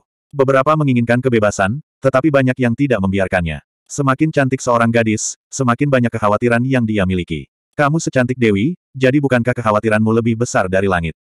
Xiao Xiang menjawab, kamu tidak salah. Saya hanya ingin belajar musik dan menemukan melodi surgawi terbaik di dunia ini. Tapi hiruk pikuk dunia fana membuatku tidak bisa tenang. Mengapa tidak? Orang tua itu bertanya. Pipi Xiao Xiang memerah, tapi dia tidak mengatakan sepatah kata pun. Pria tua itu tersenyum penuh arti, kamu memiliki seseorang yang kamu sukai, kan? Haha, melihat penampilanmu, sepertinya tebakanku benar. Anda memiliki kekasih, tetapi Anda masih khawatir. Ini berarti bahwa Anda bukan kekasihnya. Jika Anda terus gigih, Anda hanya akan menderita. Ini, aku juga mengerti logika ini. Xiao Xiang menghela nafas. Karena kamu tahu, kamu harus mengerti. Daripada hidup untuk orang lain, mengapa tidak lebih banyak hidup untuk diri sendiri? Kata orang tua itu. Senior, apa maksudmu? Dao cinta itu pahit, dao surga itu menggembirakan. Karena Anda ingin mengejar musik, Anda harus melepaskan semua beban di pikiran Anda. Hanya ketika pikiran Anda menjadi halus musik dapat menjadi halus. Ada banyak jenis dao besar. Saat Anda mengembangkan ritme hingga ekstrim, Anda masih bisa menjadi abadi, menjadi orang suci, bebas dan tidak terkekang, hidup selamanya di dunia ini, kata sesepuh. Xiao Xiang merasa tercerahkan dan berkata, terima kasih atas bimbingan Anda, senior. Haha, kita semua adalah orang yang lewat di dunia manusia, tidak ada yang namanya bimbingan, kata lelaki tua itu sambil tersenyum. Xiao Xiang menjawab, jadi maksudmu dia juga seorang pejalan kaki di dunia fanaku. Tentu saja. Xiao Xiang melanjutkan, saya juga seorang pejalan kaki di dunia fana. Sangat, sangat. Orang tua itu berkata, kamu tidak akan bisa mencapai dao yang hebat jika kamu tidak mengalaminya. Ayo, miliki semangkuk bubur es teratai bunga surgawi yang menghilangkan kekhawatiran. Saya jamin semua kekhawatiran Anda akan hilang. Xiao Xiang mengambil semangkuk bubur dan tanpa sadar meminumnya. Wajah cantiknya menjadi biasa dan bahkan kulitnya tidak begitu putih lagi. Dia tampak seperti gadis biasa yang bisa dilihat di jalanan. Semangkuk bubur telah mengubah penampilannya. Dia tidak lagi secantik dulu. Apakah kamu menyesalinya? Orang tua itu bertanya. Tidak, kata Xiao Xiang. Apakah kamu masih memikirkan orang itu? Orang tua itu bertanya. Xiao Xiang menyentuh wajahnya dan berkata, senior benar. Kekhawatiran terbesar saya adalah wajah ini. Setelah kehilangan wajah cantik saya, saya tidak lagi memiliki begitu banyak pikiran yang mengganggu. Pria tua itu mengangguk, suatu hari, Ketika Anda dapat menggunakan musik untuk menyelaraskan dengan dao surgawi dan menjadi abadi atau suci, penampilan Anda secara alami akan berubah kembali. Ada ribuan orang bijak sejak zaman kuno, tetapi berapa banyak dari mereka yang bisa menjadi abadi atau suci? Xiao Xiang berkata, bagaimana jika saya tidak bisa menjadi abadi atau suci? Tenggelam di dunia fana. Dipahami, Xiao Xiang segera pergi. Dia tidak lagi memiliki keengganan di hatinya saat dia berjalan menuju ke arah gerbang kota. Suara mendesing. Feng Feiyun turun dari langit dan mendarat di luar rumah teh. Dia melihat sekeliling dan cukup terkejut, saya dengan jelas merasakan kehadirannya di dekatnya. Mengapa dia tiba-tiba menghilang? Feng Feiyun melihat sekeliling dan melihat seorang wanita berjalan menuju gerbang. Satu-satunya yang tersisa adalah gudang yang rusak di sisi tembok kota. Seorang lelaki tua sedang memasak bubur di dalamnya. Dia melambaikan sendok dan berteriak, bubur teratai es bunga surgawi. Lima koin tembaga untuk mangkuk. Fei Yun mengenali lelaki tua ini dan berjalan mendekat. Kakek tua, apakah kamu baru saja melihat kecantikan tertinggi? Dia terlihat seperti dewi yang turun dari surga. Pria tua itu tersenyum, tentu saja. Benarkah? Ke mana dia pergi? Feng Fei Yun bertanya. Orang tua itu menunjuk ke gerbang, itu dia. Feng Fei Yun menoleh dan melihat wanita itu sudah keluar dari gerbang. Feng Fei Yun berkata, apakah kamu mencoba menipuku? Aku tidak berbicara tentang gadis itu. Kalau begitu aku tidak tahu. Pria tua itu memiliki ekspresi tak berdaya dan berkata, benar, seorang pelanggan baru saja minum semangkuk bubur dan belum membayar. Mengapa Anda tidak membayarnya dulu? Mengapa saya harus membayar bubur orang lain? Feng Feiyun bertanya. Orang tua itu menghela nafas, karena aku tahu ke mana perginya orang yang kamu cari. Denting-denting. 15 koin tembaga mendarat di atas meja. Feng Feiyun bahkan membayar 10 koin tembaga yang dia berutang padanya terakhir kali, bicaralah. Dia telah meninggalkan ibu kota abadi. Pria tua itu membelai janggutnya, kamu bukan dari dunia yang sama. Kamu mengejar Tao surgawi yang berbeda. Daunnya tidak bisa dibatasi. Tentu saja aku tahu itu. Feng Feiyun berhenti, saya tidak ingin membatasi dia. Baginya, kamu adalah sangkar yang lebih besar dari ibu kota dewa. Hanya dengan melepaskan diri darimu dia bisa benar-benar keluar dari sangkar ini. Feng Feiyun diam, kamu benar. Dia harus pergi. Aku hanya khawatir dia akan dalam bahaya dan aku tidak ingin dia pergi sendirian. Kamu tidak perlu khawatir tentang itu. Dia bukan lagi kecantikan yang luar biasa. Wanita biasa tidak akan terlalu berbahaya. Pria tua itu tersenyum. Mendengar ini, Feng Feiyun tiba-tiba teringat pada wanita yang baru saja keluar dari gerbang kota. Dia memelototi lelaki tua itu dan berkata, kamu orang tua, mengapa kamu tidak mengatakannya lebih awal? Feng Feiyun berubah menjadi angin puyuh dan mengejarnya.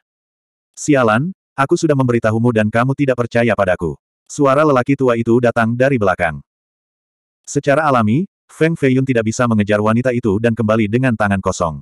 Setelah kembali ke ibu kota abadi, lelaki tua itu juga pergi. Bahkan potnya sudah dipindahkan. Kadang-kadang, mereka tidak akan pernah bertemu lagi jika mereka merindukan satu sama lain.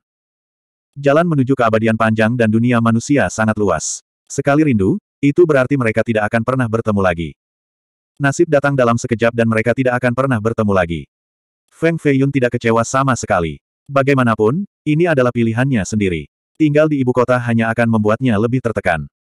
Dao surgawi tanpa emosi sementara kehidupan penuh dengan banyak bentuk. Ada terlalu banyak kegembiraan dalam hidup, jadi tentu saja, akan ada penyesalan yang tak terhitung jumlahnya. Itu cukup untuk tetap setia pada hati seseorang, tidak perlu memaksakannya. Gemuruh. Sekelompok penjaga kekaisaran mengenakan baju besi hitam berat yang mengendarai kilin besi bergegas dari jauh. Mereka mengaduk salju dan berhenti di depan Feng Feiyun. Seorang Kasim tua yang mengenakan seragam Kasim merpati keluar dari tandu. Dia memegang gulungan emas dengan rune naga yang memancarkan aura yang mendominasi.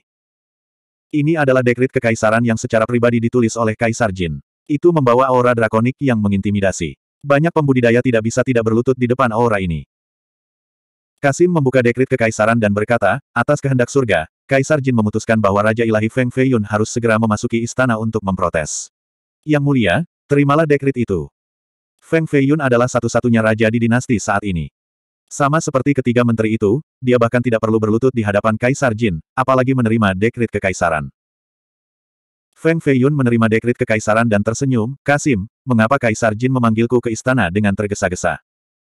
Feng Feiyun merasa ada sesuatu yang salah jadi dia ingin menyelidiki terlebih dahulu. Ini, aku juga tidak tahu. Kasim tidak ingin mengatakan yang sebenarnya kepada Feng Feiyun, jadi dia mengatakan ini. Jadi begitu. Baiklah, kita akan memasuki istana sekarang. Feng Feiyun tidak menahan diri dan langsung duduk di tanduk Kasim. Meskipun Kasim adalah kepala Kasim dan favorit Kaisar Jin dengan kultivasi yang tak terduga, dia tetap tidak berani bersaing dengan Feng Feiyun. Bagaimanapun, Feng Feiyun masihlah Raja Ilahi, yang kedua setelah Kaisar Jin. Bahkan jika Kasim tidak mengatakannya, Feng Feiyun secara kasar dapat menebak alasannya. Hanya ada dua hal. Pertama, masalah tentang pembuluh darah naga. Kedua, dia membunuh Komandan Solid Spirit Gate, memikat pasukan ke kota, dan meratakan Beauty's Smile. Masalah ini bisa besar atau kecil. Bahkan jika Kaisar Jin menutup mata, faksi Kanselir Agung pasti akan mempermasalahkan hal ini dan bahkan memaksa Feng Feiyun untuk turun tahta. Feng Feiyun tidak takut sama sekali. Dia akan menghadapinya ketika itu datang. Ini adalah kunjungan pertama Feng Feiyun ke Istana Kekaisaran. Itu benar-benar berbeda dari apa yang dia bayangkan. Ini adalah istana besar dengan 360 kursi yang diatur dalam lingkaran. Bagian tengahnya ditutupi dengan karpet bulu cerpelai merah, dan singgasana naga Kaisar Jin berada di atasnya. Itu diukir dengan emas dan batu giok dan memiliki sembilan naga melingkari itu. Tingginya sembilan meter. Di bawahnya ada empat kursi untuk tiga direktur dan Raja Ilahi. Tingginya tujuh meter. Semakin tinggi pangkatnya, semakin rendah pangkat resminya, dan semakin rendah kursinya. Pada titik ini, Feng Feiyun mengetahui bahwa pejabat dinasti Jin juga dapat duduk di hadapan Kaisar Jin. Feng Feiyun bukan satu-satunya yang menerima keputusan itu. Pejabat sipil dan militer, tiga direktur, sembilan menteri, delapan belas bangsawan, dan beberapa pangeran dan putri juga ada di sini. Suasananya cukup serius bahkan sebelum Kaisar Jin tiba. Bab 506. Ini bukan istana di dunia fana. Setiap pejabat memiliki tingkat kultivasi tertentu. Yang lebih kuat bisa memanggil gambar ki di atas kepala mereka. Bahkan pejabat sipil telah menggunakan obat roh sehingga mereka memiliki aura yang unik, menyerupai seorang guru roh atau seorang konfusian abadi. Bagian atas istana itu seperti langit biru dengan awan putih melayang di udara. Ada juga diagram sembilan naga yang digambar secara pribadi oleh Kaisar Jin. Itu memancarkan aura kekaisaran yang menakutkan, menyebabkan orang kagum saat memasuki istana. Tiga direktur dan sembilan menteri semuanya hadir. Mereka semua bersemangat dan tidak kehilangan pesona mereka, terutama Grand Tutor. Dia mengenakan jubah aprikot bersulam teratai hijau dan kuali perunggu. Dia berjalan melewati Feng Feiyun. Feng Feiyun sedikit meliriknya dan merasakan niat ilahi yang luas terpancar dari orang ini. Itu melampaui siapa pun di pengadilan. Delapan dari delapan belas markuise surgawi ada di sini. Dua dari tiga markuise dari rumah Raja Dewa ada di sini, patung Markis dan singa Markis. Adapun Butler Markis, dia tidak datang. Markis surgawi lainnya berada di luar memimpin pasukan mereka dan berada seratus ribu mil jauhnya dari ibu kota. Feng Feiyun melihat Putri Luofu di tengah keramaian. Dia mengenakan jubah emas upacara. Hari ini, dia tidak mengenakan kerudung, memperlihatkan kecantikannya yang tak tertandingi seperti teratai emas di tengah aula. Ini adalah pertama kalinya Feng Feiyun melihat sang putri secara langsung, tetapi dia langsung mengenalinya. Dia memiliki kesombongan dan spiritualitas seorang putri kerajaan, bukan sesuatu yang bisa dimiliki wanita lain. Semangatnya melampaui pejabat di sini. Dia memang kecantikan ketiga dari dinasti Jin. Sekelompok pejabat mengelilinginya sambil berbasa-basi. Mereka jelas bawahan Putri Luofu. Putra mahkota Longsenya berada tepat di belakang Grand Tutor bersama dengan sekelompok besar pejabat, termasuk Marquise dan sembilan menteri. Beberapa dari mereka berbisik sementara yang lain diam-diam berkomunikasi satu sama lain. Mereka terlihat sangat akrab satu sama lain. Tentu saja, ada juga banyak pejabat netral di istana, seperti Grand Preceptor dan Grand Tutor dari tiga pejabat bangsawan. Mereka sangat dihormati sehingga banyak pejabat yang mau tidak mau menundukkan kepala ketika mereka mendekati mereka. Ini adalah sikap seseorang di posisi tinggi. Ditambah dengan kultivasi mereka yang tak terduga, peringkat yang lebih rendah penuh hormat dan takut. Fei Yun hanya perlu melihat sekeliling untuk mendapatkan gambaran umum tentang para pejabat di sini. Dia memiliki gambaran kasar tentang siapa yang berada di bawah panji siapa. Yang mulia, situasinya tidak terlihat baik hari ini. Elepan Markis berdiri di belakang Feng Fei Yun dan berkata.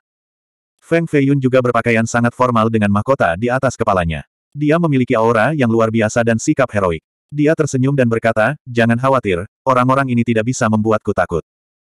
Banyak dari pejabat ini diam-diam menatap Feng Feiyun. Mereka sesekali melirik ke arahnya. Jelas, mereka mengarahkan tombak mereka ke arahnya. Ini adalah tanda badai mendekat. Elepan Markis dan Lion Markis keduanya adalah pejabat tinggi dari faksi Raja Ilahi. Raja Ilahi sebelumnya telah memerintahkan mereka untuk melakukan yang terbaik untuk mendukung Feng Feiyun. Mereka merasa Feng Feiyun terlalu muda dan takut dia tidak akan mampu bersaing dengan rubah tua ini di pengadilan dan akan ditipu oleh politik. Feng Feiyun tidak takut sama sekali, siapa yang takut politik. Dulu ketika saya menjadi Master Klan Phoenix, saya menang melawan tujuh ratu iblis Phoenix, jadi mengapa saya harus takut pada orang-orang ini? Ada keributan di luar, dan seseorang mendesah pelan. Putri Yue telah tiba. Di masa lalu, hanya putra mahkota dan Putri Luofu yang diizinkan untuk berpartisipasi di pengadilan. Tapi sekarang, Putri Yue juga ada di sini. Apa artinya ini? Ada makna yang lebih dalam di balik ini. Banyak orang menarik napas dalam-dalam. Tampaknya posisi putra mahkota tidak lagi hanya antara putra mahkota dan sang putri. Yang mulia, mata indah Long Chang Yue penuh emosi saat dia sedikit membungkuk ke arah Feng Feiyun. Seorang permaisuri secara alami harus membungkuk di hadapan Raja Ilahi. Putri Luofu dan putra mahkota secara alami melirik dengan kilatan dingin di mata mereka. Bahkan, Grand Tutor, yang berpura-pura tidur sedikit membuka matanya sejenak sebelum menutupnya lagi. Kaisar Jin, ayo. Pengurus istana tua berdiri di tangga batu giok dan memekik sekuat tenaga. Kemudian, dia membungkukkan punggungnya dan berlutut di tanah. Seluruh pengadilan menjadi sunyi. Semua orang berdiri tegak dan bersemangat tinggi. Di luar Feng Feiyun dan tiga direktur, semua orang berlutut di tanah dan berkata, Salam, Kaisar Jin, Kaisar kita tidak terbatas. Salam, Kaisar Jin, Kaisar kita tidak terbatas. Feng Feiyun berdiri dengan bangga dengan dada membusung. Dia dan Beiming Mosou berdiri di tengah sementara Grand Tutor dan Grand Tutor berdiri di kiri dan kanan. Mosou melirik Feng Feiyun dengan senyum yang dalam di matanya. Tidak ada yang tahu apa yang dia tersenyum. Suara mendesing. Kekuatan kaisar yang melonjak turun dari atas, sangat menakutkan. Tahta naga sembilan naga meletus dengan kecemerlangan kemasan, menyilaukan seperti matahari. Kekuatan kaisar seperti bintang yang jatuh dari sembilan langit. Semua orang di istana kekaisaran merasa seperti mereka menahan kekuatan dewa miliaran kilogram. Tubuh mereka tanpa sadar bergetar. Hanya ketiga adipati yang bisa menghadapinya dengan tenang. Kultivasi tiga orang ini sangat mendalam. Bahkan dengan kekuatan kaisar pada mereka, mereka masih bisa berdiri dengan tenang. Feng Feiyun adalah yang terlemah sehingga banyak orang mengira dia akan berlutut di tanah. Bahkan Beiming Mosou berpikiran sama. Itu sebabnya dia memberi Feng Feiyun senyum aneh sebelumnya. Namun, dia melirik Feng Feiyun dan kecewa. Feng Feiyun masih berdiri dengan tenang di sampingnya dan bahkan berbalik untuk tersenyum padanya. Beiming Mosou juga tersenyum. Matanya sepertinya berkata, tidak buruk. Bangkit. Kaisar menarik kembali aura kekaisaran dan energi drakoniknya ke dalam tubuhnya. Semua pejabat sipil dan militer mengambil tempat duduk mereka, dan tidak ada kursi kosong di antara 360 kursi kekaisaran. Feng Feiyun dan ketiga direktur duduk di paling depan. Kursi mereka setinggi 7 meter, paling dekat dengan kaisar. Komandan sembilan gerbang berdiri dan sedikit membungkuk, saya punya laporan. Izin diberikan. Suara kaisar bermartabat. Inspektur berkata, Komandan Solid Spirit Gate, Zhang Zonglin, adalah jenderal yang paling kompeten di bawah saya. Namun, dua hari yang lalu, dia dibunuh tanpa alasan dan tubuhnya dibuang di jalan. Kaisar Jin, tolong hukum pembunuh. Siapa yang membunuhnya? Kaisar bertanya. Komandan memelototi Feng Feiyun, saya ingin mendakwa Raja Ilahi, Feng Feiyun, karena dengan sengaja membunuh anggota penting istana dan mengganggu ketenangan ibu kota. Orang lain berdiri, saya juga ingin mendakwa Raja Ilahi karena secara sembrono memindahkan pasukan ke kota dan menyebabkan lebih dari satu juta korban bersama dengan area kota yang luas. Aku sudah melakukan perhitungan. Lebih dari sepuluh ribu orang tewas dan lebih dari satu juta orang terluka. Aku juga ingin mendakwa Raja Ilahi karena tidak menghormati otoritas kekaisaran dan menimbulkan masalah di ibu kota tanpa mempedulikan Kaisar Jin. Aku juga ingin mendakwa Raja Ilahi. Lebih dari sepuluh pejabat keluar dengan ekspresi marah. Mereka semua ingin mendakwa Feng Feiyun untuk turun tahta. Beberapa bahkan mengatakan bahwa dia bersalah karena menipu kaisar dan pantas dieksekusi. Semua orang menatap Feiyun dan mengarahkan tombak mereka ke arahnya. Mosou tetap tenang dan melirik Feng Feiyun untuk melihat betapa paniknya dia. Namun, kekecewaannya, Feng Feiyun masih acuh tak acuh dan balas tersenyum seolah ini tidak ada hubungannya dengan dia. Tertawa, tertawa. Anda tidak akan bisa tertawa nanti. Di mata Mosou, berurusan dengan bocah seperti Feng Feiyun adalah hal yang mudah. Feng Feiyun berkata, Kaisar, saya juga ingin mengatakan sesuatu. Kaisar dengan malu-malu bertanya, apa itu? Feng Feiyun dengan benar menyatakan, saya ingin memukuli seseorang. Seluruh pengadilan gempar setelah mendengar ini. Banyak orang tertawa terbahak-bahak, terutama para pejabat yang ingin mendakwa Feng Feiyun. Mereka mencibir ketidaktahuan Feng Feiyun. Komandan memarahi, Feng Feiyun, kamu mungkin Raja Ilahi, tetapi kamu tidak bisa melakukan apa yang kamu suka di pengadilan. Apakah begitu? Feng Feiyun mengeluarkan perintah raja dan berkata, Kaisar Jin pertama pernah berkata bahwa Raja Ilahi bertanggung jawab atas dunia. Dengan perintah ini, Anda dapat mengalahkan penguasa yang tidak kompeten atau pejabat pengkhianat. Saya pikir Anda terlihat seperti pejabat pengkhianat, bisakah saya memukul Anda? Kamu, komandan terkejut setelah melihat perintah raja di tangan Feng Feiyun. Dia dengan cepat membungkuk ke arah Kaisar dan berkata, tolong mengerti, Kaisar, saya benar-benar setia kepada dinasti dan Kaisar Jin. Kaisar masih duduk di singgasananya dengan ekspresi acuh tak acuh. Tidak ada yang tahu apa yang dia pikirkan saat ini. Long Chang Yue keluar dari belakang Feng Feiyun dengan laporan di tangannya, menurut bukti yang saya kumpulkan, Xie Yao telah menjadi komandan selama 200 tahun dan menerima suap total 972 batu roh.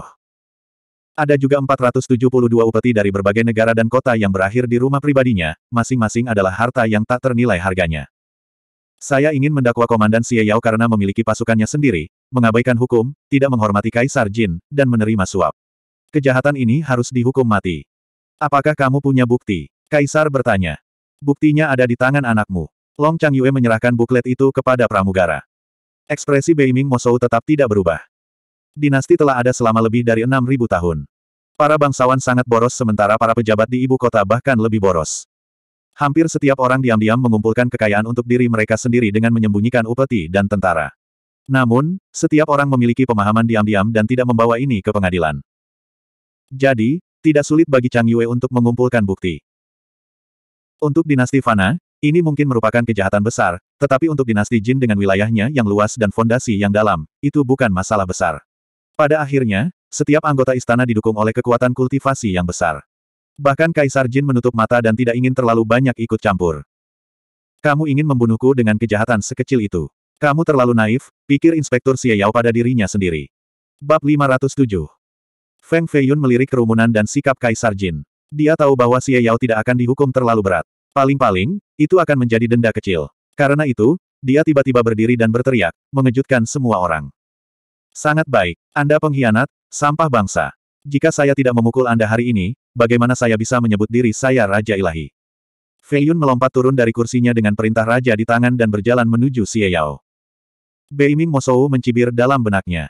Benar-benar bodoh, berani membuat keributan di pengadilan tanpa sopan santun. Komandan berada di bawah faksi kanselir agung, tapi dia tidak takut pada Feng Feiyun. Dia merasa Feng Feiyun tidak punya nyali untuk melakukannya. Feng Feiyun, kamu berani meninggalkan tempat dudukmu tanpa izin Kaisar Jin. Ini adalah kejahatan besar karena tidak menghormati penguasa. Komandan sama sekali tidak takut pada Feng Feiyun. Dia mengangkat kepala dan dadanya, terlihat sangat tenang. Saya seorang pengkhianat, Kaisar Jin hanya akan memuji saya atas kontribusi saya untuk negara. Feng Feiyun menggulung lengan bajunya dan langsung mengayunkan perintah raja. Sama seperti pria dari klan Zuang, dia tidak peduli sama sekali. Ledakan. Perintah raja yang hitam dan berat langsung mengenai wajah komandan, menyebabkan dia jatuh ke tanah. Tulang pipinya patah dengan darah di seluruh wajahnya yang bengkak. Komandan melolong kesakitan, kamu benar-benar berani memukulku. Bocah Feng Feiyun, kamu tidak akan mati dengan baik. Sangat baik. Anda berani mengutuk Raja Ilahi. Itu kejahatan yang lebih besar. Kilatan pembunuh melintas di mata Feng Feiyun. Energi roh melonjak di lengannya, mengaktifkan kekuatan Raja Ilahi sebelumnya. Komandan menyadari bahwa dia ditipu oleh Feng Feiyun. Mengutuk Raja Ilahi di pengadilan adalah kejahatan besar, tapi dia tidak takut. Dia percaya bahwa Kanselir Agung akan membantunya membersihkan namanya. Namun, tepat pada saat ini, kekuatan yang agung dan menakutkan runtuh. Bagaimana mungkin Feng Feiyun membiarkannya hidup? Tanpa peringatan apa pun, dia menggunakan kekuatan terkuat dari dekrit Raja Dewa. Bahkan Kanselir Agung tidak bisa menghentikannya. Bang! Komandan sembilan gerbang dihancurkan menjadi kabut berdarah oleh Feng Feiyun menggunakan perintah Raja Dewa. Bahkan tulangnya tidak tersisa. Seluruh pengadilan terkejut dan terdiam. Bajingan Feng Feiyun ini sebenarnya berani membunuh seorang pejabat tinggi di pengadilan. Hal semacam ini sudah jarang terlihat sejak berdirinya dinasti Jin. Ekspresi Beiming Mosou suram saat dia mengatupkan jari-jarinya. Feng Feiyun melirik orang-orang ini sebelum berjalan ke tahta dan sedikit membungkuk, melapor kepada Kaisar Jin, Komandan Sembilan Gerbang Xie Yao korup dan membawa kekacauan ke dinasti. Aku telah mengeksekusinya atas nama surga. Setelah mendengar ini, para pejabat yang menuduh Feng Feiyun sebelumnya merasa merinding. Mereka takut Raja Ilahi yang berani ini akan mengincar mereka lagi. Beiming Mosou berdiri dan berkata, Kaisar Jin, dari apa yang saya tahu, Xie Yao mungkin memiliki beberapa masalah kecil, tapi dia pasti seorang jenderal yang setia. Yang mulia membunuh orang yang tidak bersalah, menyebabkan semua orang merasa tidak aman. Jika kita tidak menghukumnya, para pejabat di pengadilan akan kecewa. Feng Feiyun berkata, jadi maksudmu bukti Putri Yue palsu dan kamu mencoba menjebaknya. Putri Yue, kata Mosou. Beiming Mosou berkata, Yang Mulia melindungi seorang komandan yang korup dan licik seperti ini. Mungkinkah Yang Mulia sudah tahu tentang urusan curangnya? Apakah dia sengaja menyembunyikannya dari Kaisar Jin untuk melindungi seorang pengkhianat? Feng Feiyun bertanya. Tentu saja aku tidak tahu, kata Mosou. Saya mendengar bahwa Xie Yao adalah murid yang mulia, jadi wajar baginya untuk dilindungi. Hukum itu hanya manusia. Itu hanya sifat manusia, kata Feng Feiyun. Mosou terkenal dengan lidahnya yang fasih, tetapi hari ini, kata-kata Feng Feiyun membuatnya tersipu, tidak heran mengapa Long Chuan Feng memilihnya untuk menjadi Raja Ilahi. Bocah ini memang sulit untuk dihadapi. Dia bahkan lebih licik daripada Long Chuan Feng. Tindakan tidak biasa Feng Feiyun membuat Mosou lengah. Mosou berencana menggunakan insiden Beauty Smile untuk mendakwa Feng Feiyun dan memaksanya turun tahta. Namun, Feiyun bahkan lebih baik dalam membuat gunung dari sarang tikus mondok daripada dia.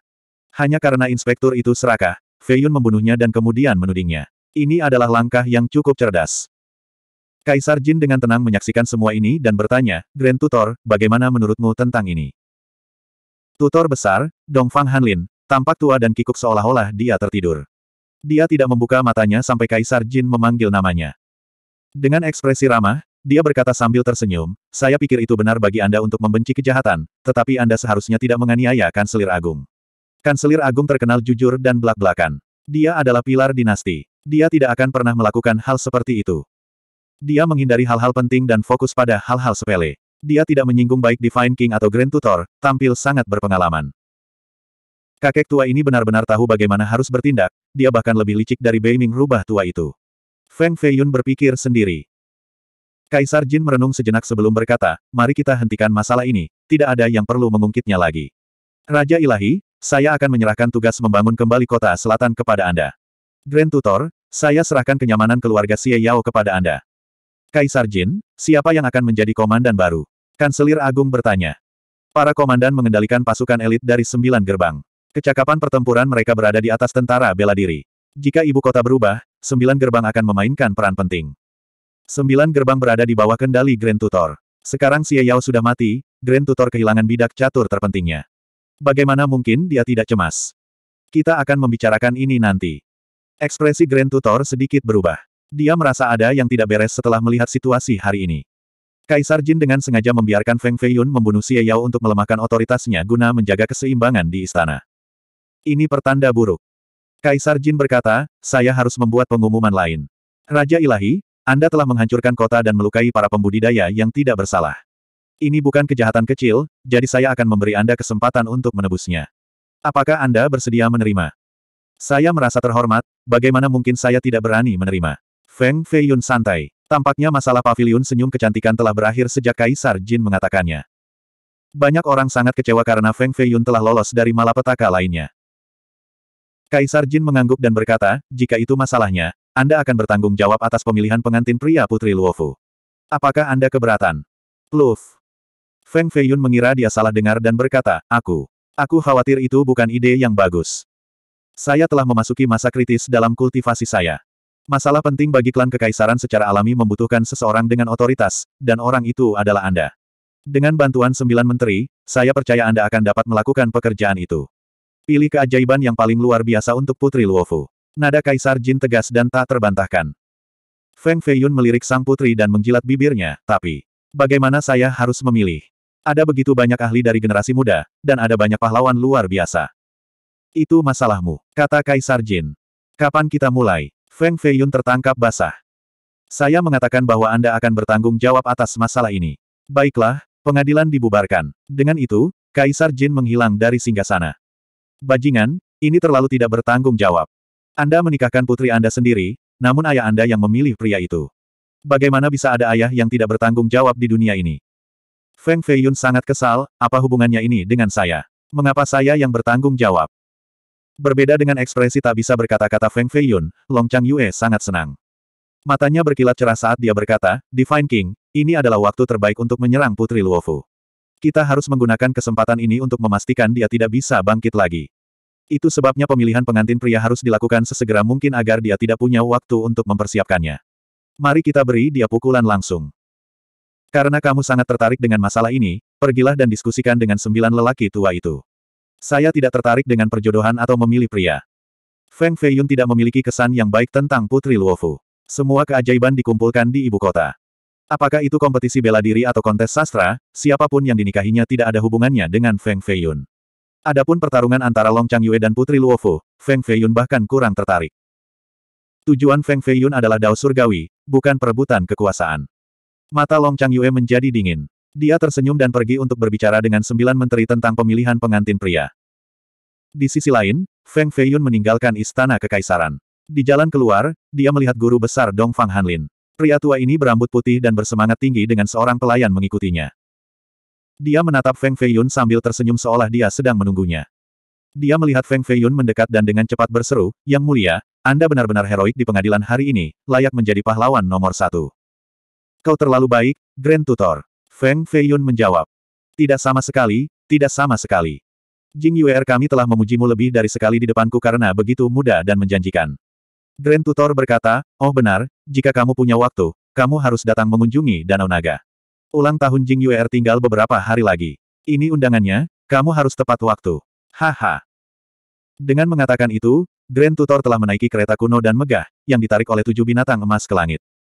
Tanggal 8 November. Kebetulan sekali, dia juga lahir pada hari ini. Mata Fei Yun menjadi serius saat dia memegang undangan di tangannya dan memasukkannya ke dalam saku dadanya. Feng Fei Yun meninggalkan kota kekaisaran dan mengendarai kereta Raja Ilahi kembali ke rumahnya. Sepanjang jalan, dia terus memikirkan situasi di ibu kota. Itu semakin rumit. Bunyi, bunyi. Sebelum kembali ke rumah Raja Dewa, kereta tiba-tiba berhenti. Suara berlutut seorang prajurit datang dari luar. Melaporkan kepada Raja Dewa, Kanselir Agung diculik dalam perjalanan kembali ke rumah Kanselir Agung. Apa? Beiming Mosou diculik. Siapa yang begitu berani untuk? Suara Feng Feiyun berhenti. Dia menyeringai ketika sosok muncul di benaknya. Jangan bilang itu dia. Bab 508. Mosou adalah ketua klan dari klan Beiming. Jika dia terbunuh, maka itu akan menjadi kesempatan yang menggembirakan bagi Feng Feiyun. Namun, Feng Feiyun sama sekali tidak merasa senang setelah kembali ke rumahnya. Yang mulia, mengapa Anda kembali? Feng Feiyun mengusap dahinya, merasa tidak beruntung. Tidak ada hal baik yang keluar dari pertemuan dengan wanita jahat ini. Wanita jahat itu seperti hantu saat dia berdiri di depan Feng Feiyun dengan wajah pucat dengan cahaya redup, kamu berani menipuku. Tentu saja tidak. Feng Feiyun terkejut. Mungkinkah wanita jahat itu benar-benar menangkap Mosou dan tidak menemukan vessel padanya, jadi dia kembali untuk menyelesaikan skor dengan Feng Feiyun. Ini adalah masalah hidup dan mati. Wanita jahat itu melambaikan lengan bajunya dan sesosok tubuh terbang keluar. Ledakan. Dia jatuh ke tanah. Orang ini mengenakan jubah resmi Kanselir Agung. Auranya sangat luas, menandakan bahwa dia telah mencapai level yang sangat tinggi.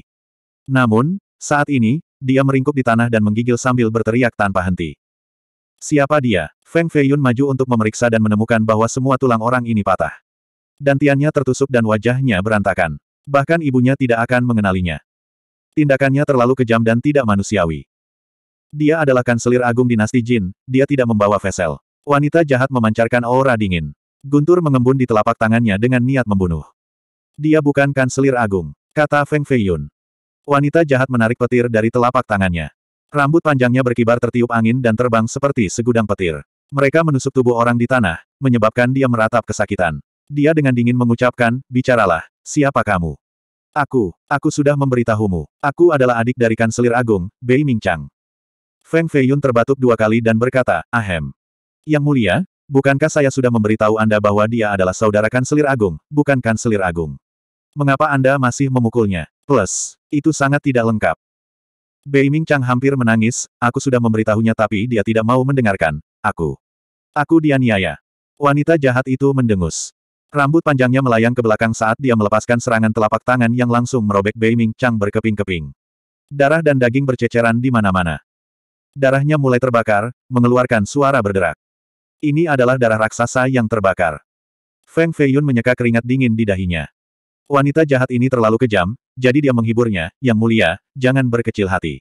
Lain kali, saya pasti akan melakukannya dengan benar tanpa membuat kesalahan. Mengapa Anda tidak langsung pergi ke rumah kanselir agung? Wanita jahat berbalik dan memelototi Feng Feiyun sebelum menuju lebih dalam ke mansion. Feng Feiyun panik dan berkata, Hei, aku salah jalan, pintu keluarnya ada di sana. Wanita jahat itu tidak berbalik dan berkata dengan sikap mendominasi, saya ingin berkultivasi di mansion. Pergi dan siapkan 3000 batu roh untuk saya. Berdasarkan apa? Feng Feiyun bertanya. Berdasarkan apa? Wanita jahat itu tiba-tiba berhenti dan dengan dingin menatap Feng Feiyun. Kekuatan yang menghancurkan bumi menghantam tubuh Feng Feiyun dan langsung memaksa Feng Feiyun mundur tiga langkah.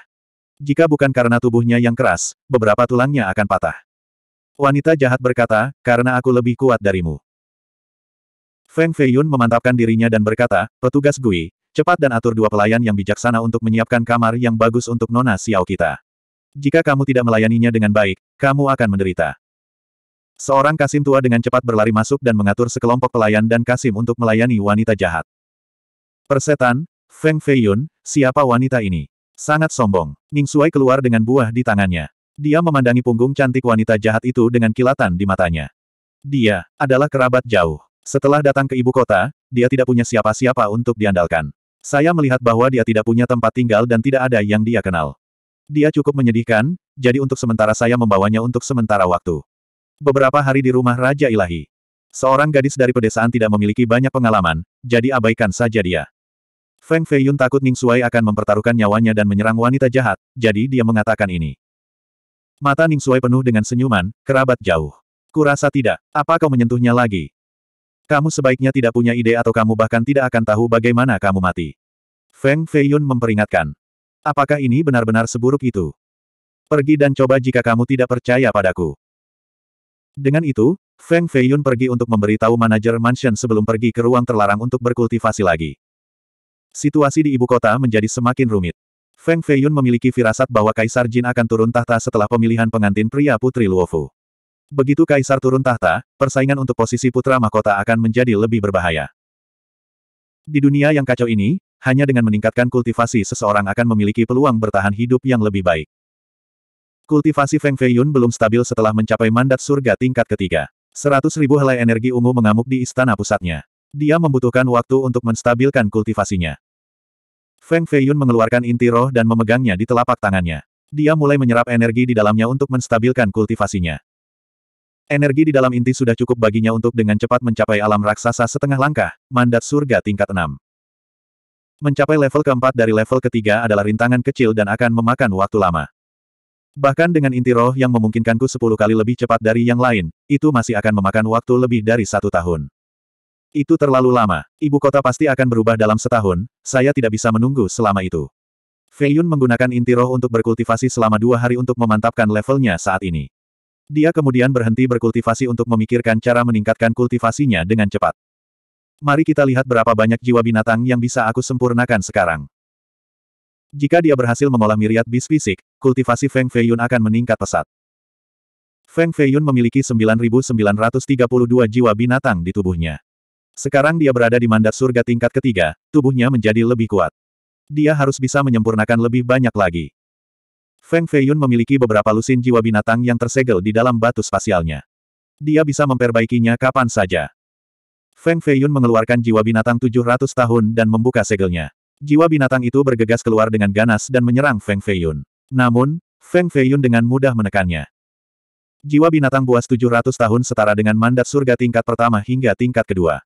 Itu tidak cukup untuk Feng Feiyun sekarang. Suara mendesing. Tidak butuh waktu lama bagi Feiyun untuk menggabungkan jiwa ini ke dalam tubuhnya. Kekuatan fisiknya meningkat ke level lain. 9.933 jiwa perang binatang. Tubuhku belum penuh, aku masih bisa menyempurnakan lebih banyak. Feng Feiyun mengeluarkan jiwa binatang kedua dan membungkusnya di telapak tangannya. Dia sepenuhnya fokus untuk menyempurnakannya untuk mendorong tubuhnya hingga batasnya. 9.934 jiwa pertarungan binatang eksotis telah berhasil disempurnakan. Feng Feiyun memurnikan 32 jiwa binatang berturut-turut sebelum mulai merasa tegang. Tubuhnya telah mencapai keadaan jenuh. Pada titik ini, dia telah memurnikan 9.964 jiwa pertarungan binatang eksotis ke dalam tubuhnya. Ini jelas bukan batasku. Lagi. Feng Feiyun mengertakkan gigi dan mengeluarkan jiwa binatang lain untuk memaksanya masuk ke dalam tubuhnya. Kali ini, jauh lebih sulit tetapi dia masih bisa menahannya. Sama seperti itu, Feng Feiyun memurnikan lima jiwa binatang berturut-turut. Setelah yang kelima, langsung meledak. Dia telah mencapai batas tubuhnya dan tidak bisa memperbaikinya lagi. 6.969 jiwa pertarungan binatang eksotis. Masih ada 31 jiwa pertarungan binatang eksotis untuk mencapai 10.000 jiwa pertarungan binatang eksotis. Mengolah tubuh pertarungan binatang segudang dengan tubuh manusia benar-benar sulit. Namun, fisik saya lebih kuat sekarang. Tidak ada seorang pun di level yang sama yang dapat dibandingkan dengan saya. Di bawah setengah langkah, saya yakin tidak ada yang memiliki fisik yang lebih kuat dari saya. Fei Yun mengevaluasi dirinya sendiri. Basis kultivasi saya masih jauh dari level yang saya inginkan. Jenius peringkat epik semuanya memiliki kartu truf mereka sendiri. Jika saya ingin bersaing dengan mereka, saya masih kekurangan fondasi. Akan sangat bagus jika saya bisa mendapatkan pil inti surgawi peringkat kelima, yang akan memungkinkan saya untuk menembus satu tingkat. Fei Yun memikirkan pil inti surgawi, pil peringkat kelima. Itu dianggap sebagai harta langka di dinasti Jin. Pil peringkat kelima sangat langka. Namun, pil ini memungkinkan Feng Fei Yun mencapai level keempat dari level ketiga. Feng Fei Yun mengetahui bahan dan metode untuk menyempurnakan pil ini. Namun, dia mungkin tidak dapat mengumpulkan semuanya di dinasti Jin. Mungkin saya bisa pergi ke lingkungan Yin Gou dan melihatnya. Jika saya bisa mengumpulkan materi, itu akan menghemat satu tahun kerja keras saya. Feng Fei Yun meninggalkan ruangan terlarang pada hari keempat. Divine King, seseorang dari klan Yin Gou ingin mengundangmu ke pesta ulang tahun Nona muda keempat malam ini. Petugas Gui dengan hormat membungkuk ke arah Feng Fei Yun. Hari ini tanggal 8 bulan 11. Feng Fei Yun mengangkat alisnya dan menghitung dengan jarinya. Dia menyadari bahwa dia telah mengasingkan diri selama berhari-hari. Apakah kamu sudah menyiapkan hadiah? Tentu saja. 2000 batu roh, bunga roh berusia 100 ribu tahun, 4000 budak, 300 pelayan, dan tiga kota kuno, kata Kasim Gui. Feng Fei Yun berkata, bukankah itu hanya seorang wanita muda dari klan yang hebat? Mengapa kita memberinya begitu banyak hadiah mahal? Nona muda keempat terkenal di dunia selain menjadi murid istana roh suci. Banyak anak muda jenius ingin mengambil kesempatan ini untuk mempersembahkan hadiah paling berharga mereka dan melamar pernikahan. Jika hadiah Divine King Manor kita terlalu sedikit, itu akan kehilangan muka, kata Kasim Gui. Bagus, mari kita lakukan itu, kata Feng Fei Yun. Bab 509 Dia harus pergi ke klan Yin Gou untuk mengumpulkan bahan untuk penyempurnaan pil. Klan Yin Gou terletak di Danau Naga. Sudah ada selama beberapa ribu tahun dan memiliki rahasia yang tak terhitung jumlahnya. Itu telah melahirkan banyak ahli dan meninggalkan banyak legenda. Feng Fei Yun Feng Fei Yun berencana membawa sekelompok hadiah ke Danau Naga. Namun, sebelum dia bisa meninggalkan rumah Raja Ilahi, dia bertemu dengan iblis kesialan. Feng Fei Yun menghela nafas dan berbalik, Yang mulia, apakah Anda baik-baik saja di rumah Raja Ilahi? Para pelayan merawatmu dengan baik, kan? Wanita jahat telah berubah menjadi gaun mewah. Alisnya bagus, hidungnya lurus, dan dagunya mancung. Rambutnya yang panjang terurai ke tanah. Sabuk giok emas tergantung di pinggangnya yang ramping. Dia tampak kurang bernyawa dan lebih mewah. Ini secara pribadi dibuat oleh pengrajin kerajaan dari rumah Raja Ilahi. Butuh tiga hari usaha. Wanita jahat secara alami cantik, tetapi di masa lalu, dia mengeluarkan perasaan dingin dan tidak manusiawi. Belum lagi mengagumi kecantikannya, hanya dengan melihatnya membuat hati Feng Feiyun menjadi dingin. Setelah berganti, mata Feng Feiyun berbinar setelah melihat wanita jahat sekarang. Ke mana kamu pergi? Wanita jahat itu menatapnya dengan matanya yang tajam. Aku akan memberi hormat. Feng Feiyun menjawab. Siapa yang akan kamu tuju? Dia bertanya. Putri keempat dari klan Yin Gou. Feng Feiyun menjawab. Wanita jahat menyipitkan matanya. Dia menjadi semakin tidak mempercayai kata-kata Feng Feiyun. Dia tidak bisa membedakan mana yang benar dan mana yang bohong. Dia berkata, kamu tidak diizinkan meninggalkan mansion. Mengapa? Feng Feiyun sedikit terdiam. Jika kamu pergi, kamu pasti akan pergi ke istana kekaisaran dan memberi tahu mereka. Dia sangat khawatir tentang Feng Feiyun. Bocah licik ini telah bersekongkol melawannya berkali-kali, jadi dia harus mewaspadai dia. Feng Feiyun berkata, saya benar-benar akan memberi hormat. Jika Anda tidak mempercayai saya, mengapa Anda tidak ikut dengan saya? Wanita jahat itu menjawab, baiklah. Kata Feng Feiyun. Feng Feiyun hanya mengatakannya dengan santai. Dia tidak menyangka bahwa iblis wanita ini akan benar-benar setuju. Bukankah ini hanya meminta masalah? Feng Feiyun tidak berdaya tetapi dia tidak bisa menyingkirkan iblis wanita ini. Dia hanya bisa membiarkannya mengikutinya ke klan Yin Gou. 2000 batu roh, bunga roh berusia 100 ribu tahun, 4000 budak, dan 300 gadis pelayan. Hadiah ini sudah lama disiapkan oleh para pelayan. Bersama dengan hadiah, ada lebih dari 100 gerbong, semuanya ditarik oleh burung aneh dan dikawal oleh tentara lapis baja yang kuat. Sementara itu, Feng Feiyun dan wanita jahat duduk di dalam gerbong mewah yang membumbung menembus awan menuju Danau Naga. Setelah memasuki gerbong, wanita jahat menutup matanya untuk berkultivasi. Setiap detik menghitung dan memperlakukan Feng Feiyun seperti udara. Dia memiliki bayangan jiwa yang tak terhitung jumlahnya di tubuhnya dan aura suci. Bintik-bintik kecil cahaya melintas di dahinya seperti bintang. Mereka membawa kekuatan spiritual tanpa jejak energi kematian mayat. Bahkan afinitas jahatnya hampir tak terlihat. Tiga mayat untuk membunuh Dao, sepertinya mayat jahat telah mengambil alih tubuh sementara mayat baik telah mengambil alih roh. Ini adalah monark Dao Sein mayat agung. Iblis wanita ini pasti tidak sederhana di masa lalu, mengetahui yang agung teknik Daois dan pembudidaya mayat. Dia pasti memiliki latar belakang yang bagus. Feng Feiyun melirik wanita jahat dan melihat sebagian besar daunnya. Mayat transformasi keempat sebanding dengan makhluk yang tercerahkan. Wanita jahat masih jauh dari puncak transformasi keempat. Kalau tidak, dia tidak perlu takut pada siapa pun di dinasti Jin, bahkan Kaisar Jin. Danau Naga terletak di barat laut ibu kota dan membentang sejauh 3.000 mil.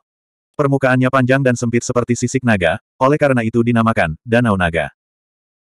Tentu saja, ada juga desas-desus bahwa naga surgawi memperoleh daunnya di zaman kuno dan naik ke surga.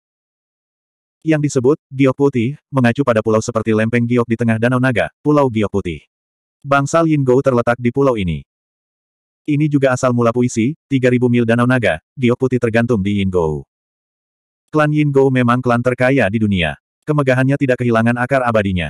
Puluhan ribu binatang aneh di danau saja sudah cukup untuk membuat klan lain mendesah takjub. Banyak bangsawan dari Immortals Capital diundang. Banyak tembakan besar dari dunia kultivasi abadi juga datang. Seluruh danau naga dipenuhi orang dan kereta. Oh, Yang Mulia Raja Ilahi, Anda akhirnya di sini. Aku sudah tak sabar untuk melihat Anda di sini. Iye melihat kereta Feng Feiyun dari jauh dan dengan cepat meninggalkan tamunya untuk menyambut Feng Feiyun. Dongfang Iye dan Feiyun bisa dianggap sebagai kenalan lama satu sama lain. Ini adalah orang yang sangat halus yang mendiskusikan dunia dengan Feng Feiyun.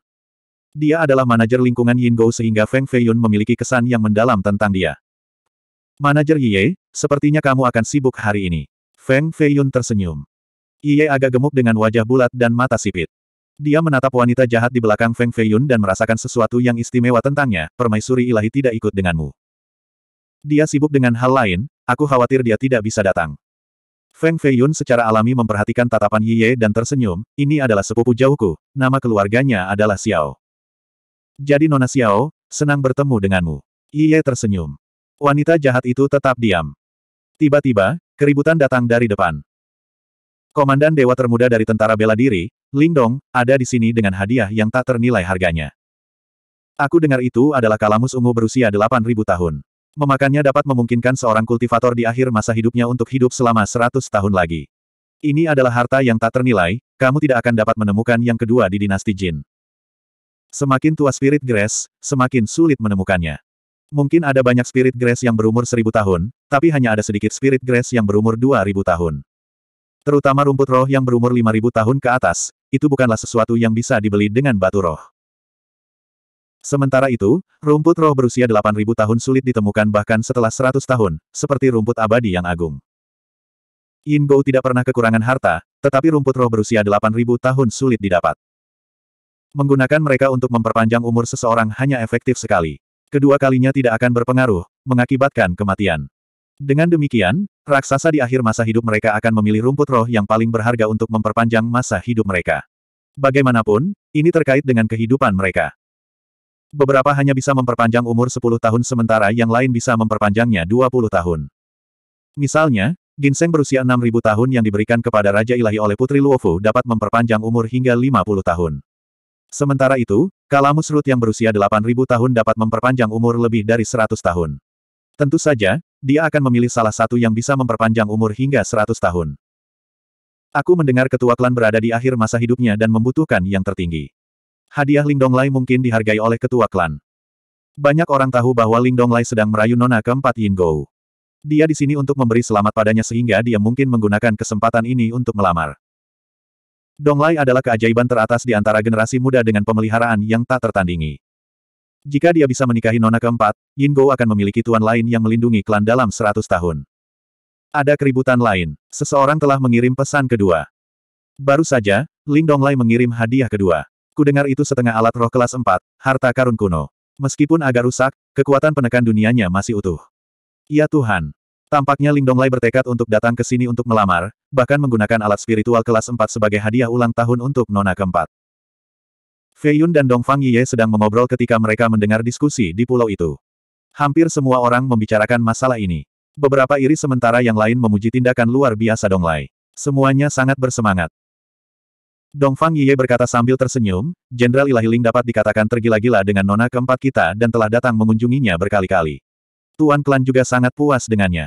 Di antara bintang-bintang yang sedang naik daun dari generasi muda, kalian berdua mungkin yang paling luar biasa. Feng Feiyun tersenyum dan tidak mengatakan apa-apa lagi.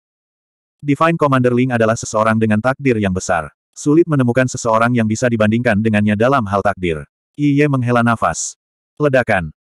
Berita sensasional lainnya keluar, dan kali ini, kejutannya tidak kecil. Yang kedua di daftar atas, Li Xiaonan, juga menghadiahkan rumput roh berusia 8.000 tahun.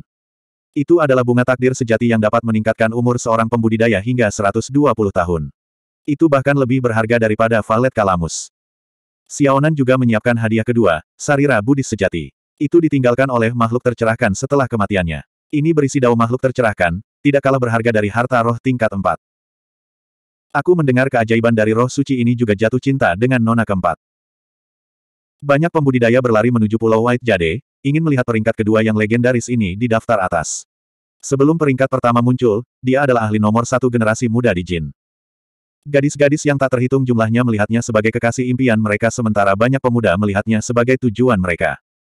Banyak orang menganggapnya abadi. Sepertinya Danau Naga akan sangat ramai hari ini, kata Feng Feiyun sambil tersenyum. Itu tidak bisa dihindari, itu tidak bisa dihindari. Setiap orang memiliki waktu sembrono ketika mereka masih muda. Demi gadis yang mereka sukai, mereka akan berjuang sampai kepala mereka berdarah dan mereka tidak akan menyesal. Wanita, bagaimanapun juga, masih harus berjuang. Jika kamu menunggu dia mengambil inisiatif untuk menemukanmu, maka pada akhirnya, dia sudah menjadi wanita orang lain. Dong Fang Yiye menyipitkan matanya dan tersenyum, aku tidak akan mengatakannya lagi, aku tidak akan mengatakannya lagi. Dalam aspek ini, Lord Divine King adalah seorang ahli. Mengatakan hal-hal ini di depanmu hanyalah menunjukkan sedikit keahlian seseorang di hadapan seorang ahli. Manajer Dongfang, tolong. Mata Feng Feiyun berkilat dengan sedikit harapan sebelum menuju lebih dalam ke Pulau Giok Putih. Raja Ilahi, tolong. Tanya Yiye. Perjamuan malam ini untuk generasi yang lebih tua dan generasi yang lebih muda. Kamu ingin pergi ke yang mana? Feng Feiyun masih muda tetapi statusnya setingkat dengan generasi yang lebih tua. Yiye tidak tahu harus berbuat apa. Orang muda harus tinggal dengan orang muda, apa gunanya minum dengan orang tua? Feng Feiyun tersenyum. Bab 510. Taman Osmantus dengan bunga merah tergantung di dahan. Meskipun saat itu musim dingin, Pulau Giok Putih Klan masih mekar penuh. Aroma Osmantus memenuhi udara dengan vitalitas dan kabut. Seolah-olah ini adalah taman di dunia abadi. Keajaiban generasi muda semuanya ada di luar. Hanya tembakan besar dari generasi sebelumnya yang akan memasuki kedalaman klan Yin Go. Ini adalah tempat berkumpul mereka, generasi muda tidak memenuhi syarat untuk masuk. Kakak Su, saudara menghitung surga, aku tidak menyangka kalian berdua akan diundang juga. Feng Feiyun melihat Su Yun dan cendikiawan tepat setelah tiba di Taman Osmantus. Dia mempercepat langkahnya dan berjalan ke arah mereka. Su Yun adalah seorang drogan di antara para pria, pria paling tampan di dunia. Dia mengenakan jubah bersulam dengan rambutnya diikat menjadi sanggul tinggi. Ketampanannya sangat ekstrim, menyebabkan banyak gadis muda menoleh dengan mata berbinar. Tidak ada yang bisa dibandingkan dengan kecantikannya. Sarjana itu mengenakan jubah Taois dan berjalan berdampingan dengan Suyun. Dia memiliki kipas bulu dan sapu tangan sutra. Tubuhnya memancarkan aura kebijaksanaan. Semua keajaiban di ibu kota diundang ke ulang tahun nona muda keempat klan Yin Go, bagaimana mungkin kita tidak datang? Meskipun Su Yun buta, dia masih penuh kepahlawanan ketika berbicara dan tertawa, menyebabkan banyak wanita hampir pingsan. Cendikiawan itu tersenyum, Tuan Klan Tua ingin mencari menantu untuk nona muda keempat sebelum Putri Luofu melakukannya. Sarjana itu melirik dan melihat wanita jahat di belakang Feng Feiyun. Jiwanya bergetar dan dia dengan cepat mengalihkan pandangannya. Namun, dia tidak menunjukkannya di wajahnya dan tetap tersenyum. Meskipun cendikiawan itu belum pernah melihat wanita jahat sebelumnya, dia dapat menyimpulkan bahwa dia tanpa ragu saat dia melihatnya. Feiyun menyarankan, mengapa kita tidak mencari tempat duduk dulu? Kami akan minum bersama kalian hari ini. Itulah yang kupikirkan. Mereka duduk di tepi danau naga dekat pulau Giok Putih. Ada pohon osmantus berusia tujuh atau delapan ribu tahun yang diukir dari kristal. Tingginya sekitar 20 meter dengan bunga merah dan daun hijau. Burung-burung sedang bermain-main. Dia duduk di bawah pohon osmantus dengan empat pelayan melayaninya. Mereka semua memegang toples anggur di tangan mereka, terlihat lembut dan anggun. Wanita jahat duduk di sebelah kanan Feng Feiyun dengan mata sedikit tertutup. Dia tidak mengatakan sepatah kata pun atau minum, seperti patung kayu. Ada cukup banyak talenta muda di sini hari ini. Feng Feiyun menatap ke kejauhan. Jumlah raja tingkat generasi muda saja sudah mencapai puluhan. Masing-masing dari mereka memiliki aura yang mendominasi. Banyak dari mereka adalah tuan muda dari Sekte Abadi, dan kekuatan di belakang mereka sangat hebat. Wolong Seng juga diundang, dan dia dipanggil oleh Feng Feiyun untuk minum bersamanya. Generasi muda pagoda nomor satu, Yan Ziyu, juga ada di sini. Dia menduduki peringkat ke-8 di daftar teratas dan merupakan teman baik sarjana. Tombak walet putihku dicuri. Ekspresi Yan Ziyu tidak sedap dipandang. Tatapannya seperti kilat saat dia mencari ke mana-mana pencuri yang telah mencuri tombak. White Swallow Spear adalah senjata roh Yan Ziyu. Dia selalu membawanya bersamanya, tapi sekarang, itu dicuri. Pencuri itu terlalu licik. Itu pasti perbuatan bajingan Ning Sui itu. Yan Ziyu memiliki ekspresi tidak ramah. Cendikiawan itu tersenyum, Saudara Yan, duduk dulu. Tidak perlu terburu-buru untuk menyelesaikan skor dengannya, serahkan saja padaku. Aku pasti akan mengembalikan tombak itu kepadamu dalam keadaan utuh. Dengan kata-kata Brother Heaven Teller, saya dapat yakin, kata Yan Ziyu. Tiga putaran anggur kemudian. Feng Feiyun tiba-tiba berdiri dan dengan nada meminta maaf berkata, semuanya, aku punya masalah kecil yang harus aku urus. Minum dulu, aku akan kembali sebentar lagi. Karena itu, Feng Feiyun berjalan menuju klan Yingou. Wanita jahat juga meninggalkan tempat duduknya dan mengikuti Feng Feiyun.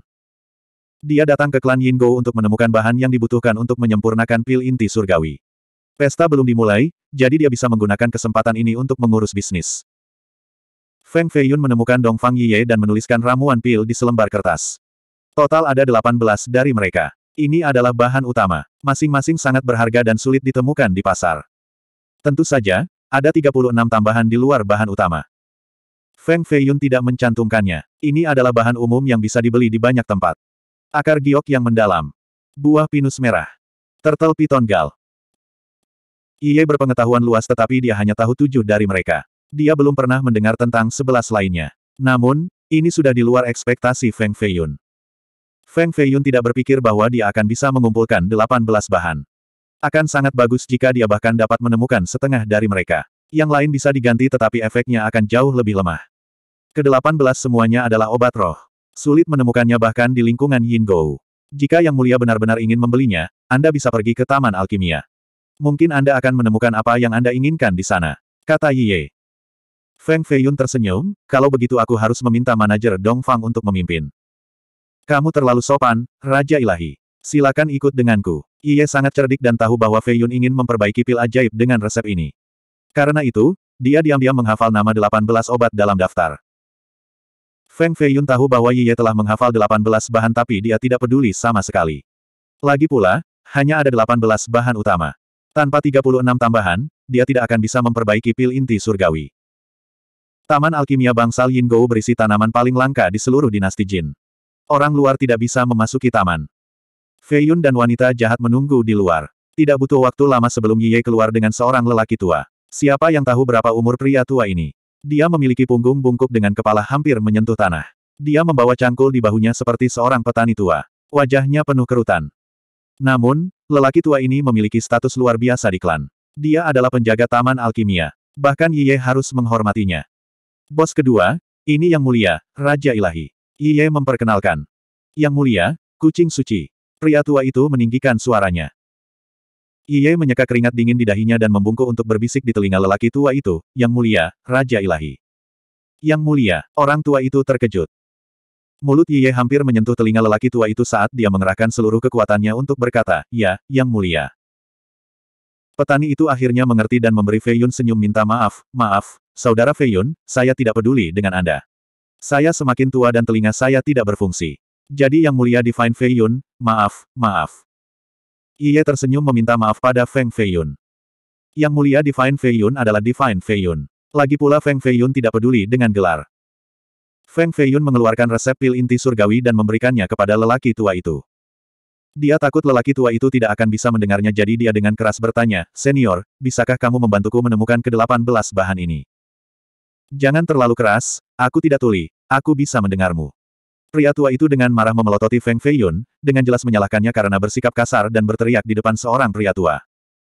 Feng Feiyun. Orang tua itu mengambil resep dari Feng Feiyun. Mata redupnya dengan cepat menjadi cerah. Dia meletakkan cangkul di bahunya dan merenung sejenak sebelum menatap Feng Feiyun, yang mulia Divine Feiyun, Anda ingin menyempurnakan pil kultivasi tingkat tinggi, jadi harus ada beberapa bahan pelengkap, bukan? Benar-benar ahli. Petani tua ini pasti orang yang menyembunyikan kekuatannya dengan baik. Dia tidak sesederhana kelihatannya. Feng Feiyun mengangguk sambil tersenyum.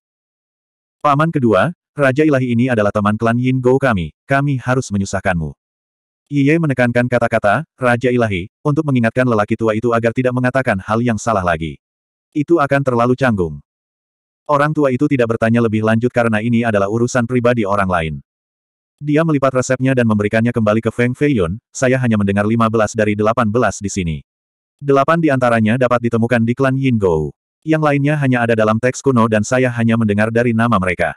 Saya bahkan belum pernah mendengar nama dari tiga lainnya. Mampu menemukan delapan sudah di luar dugaan Feng Feiyun. Banyak dari bahan-bahan ini saling terkait dan dapat diganti dengan bahan lain. Hanya saja pil yang dihasilkan tidak sekuat itu. Jika dia bisa menemukan delapan dari delapan belas bahan utama, dia akan bisa menyempurnakan pil sumsum -sum surgawi dengan 30% kekuatan obat. Petani itu merenung sejenak sebelum melanjutkan, dalam hal bahan, Yingou bukanlah tempat yang paling banyak. Ada tempat lain yang memiliki lebih banyak bahan daripada Yingou. Tempat apa? Feng Feiyun sangat gembira. Grand Tutor saat ini adalah alkemis nomor satu di dinasti, alkemis peringkat ketiga. Tidak ada yang bisa dibandingkan dengannya dalam hal pemurnian pil.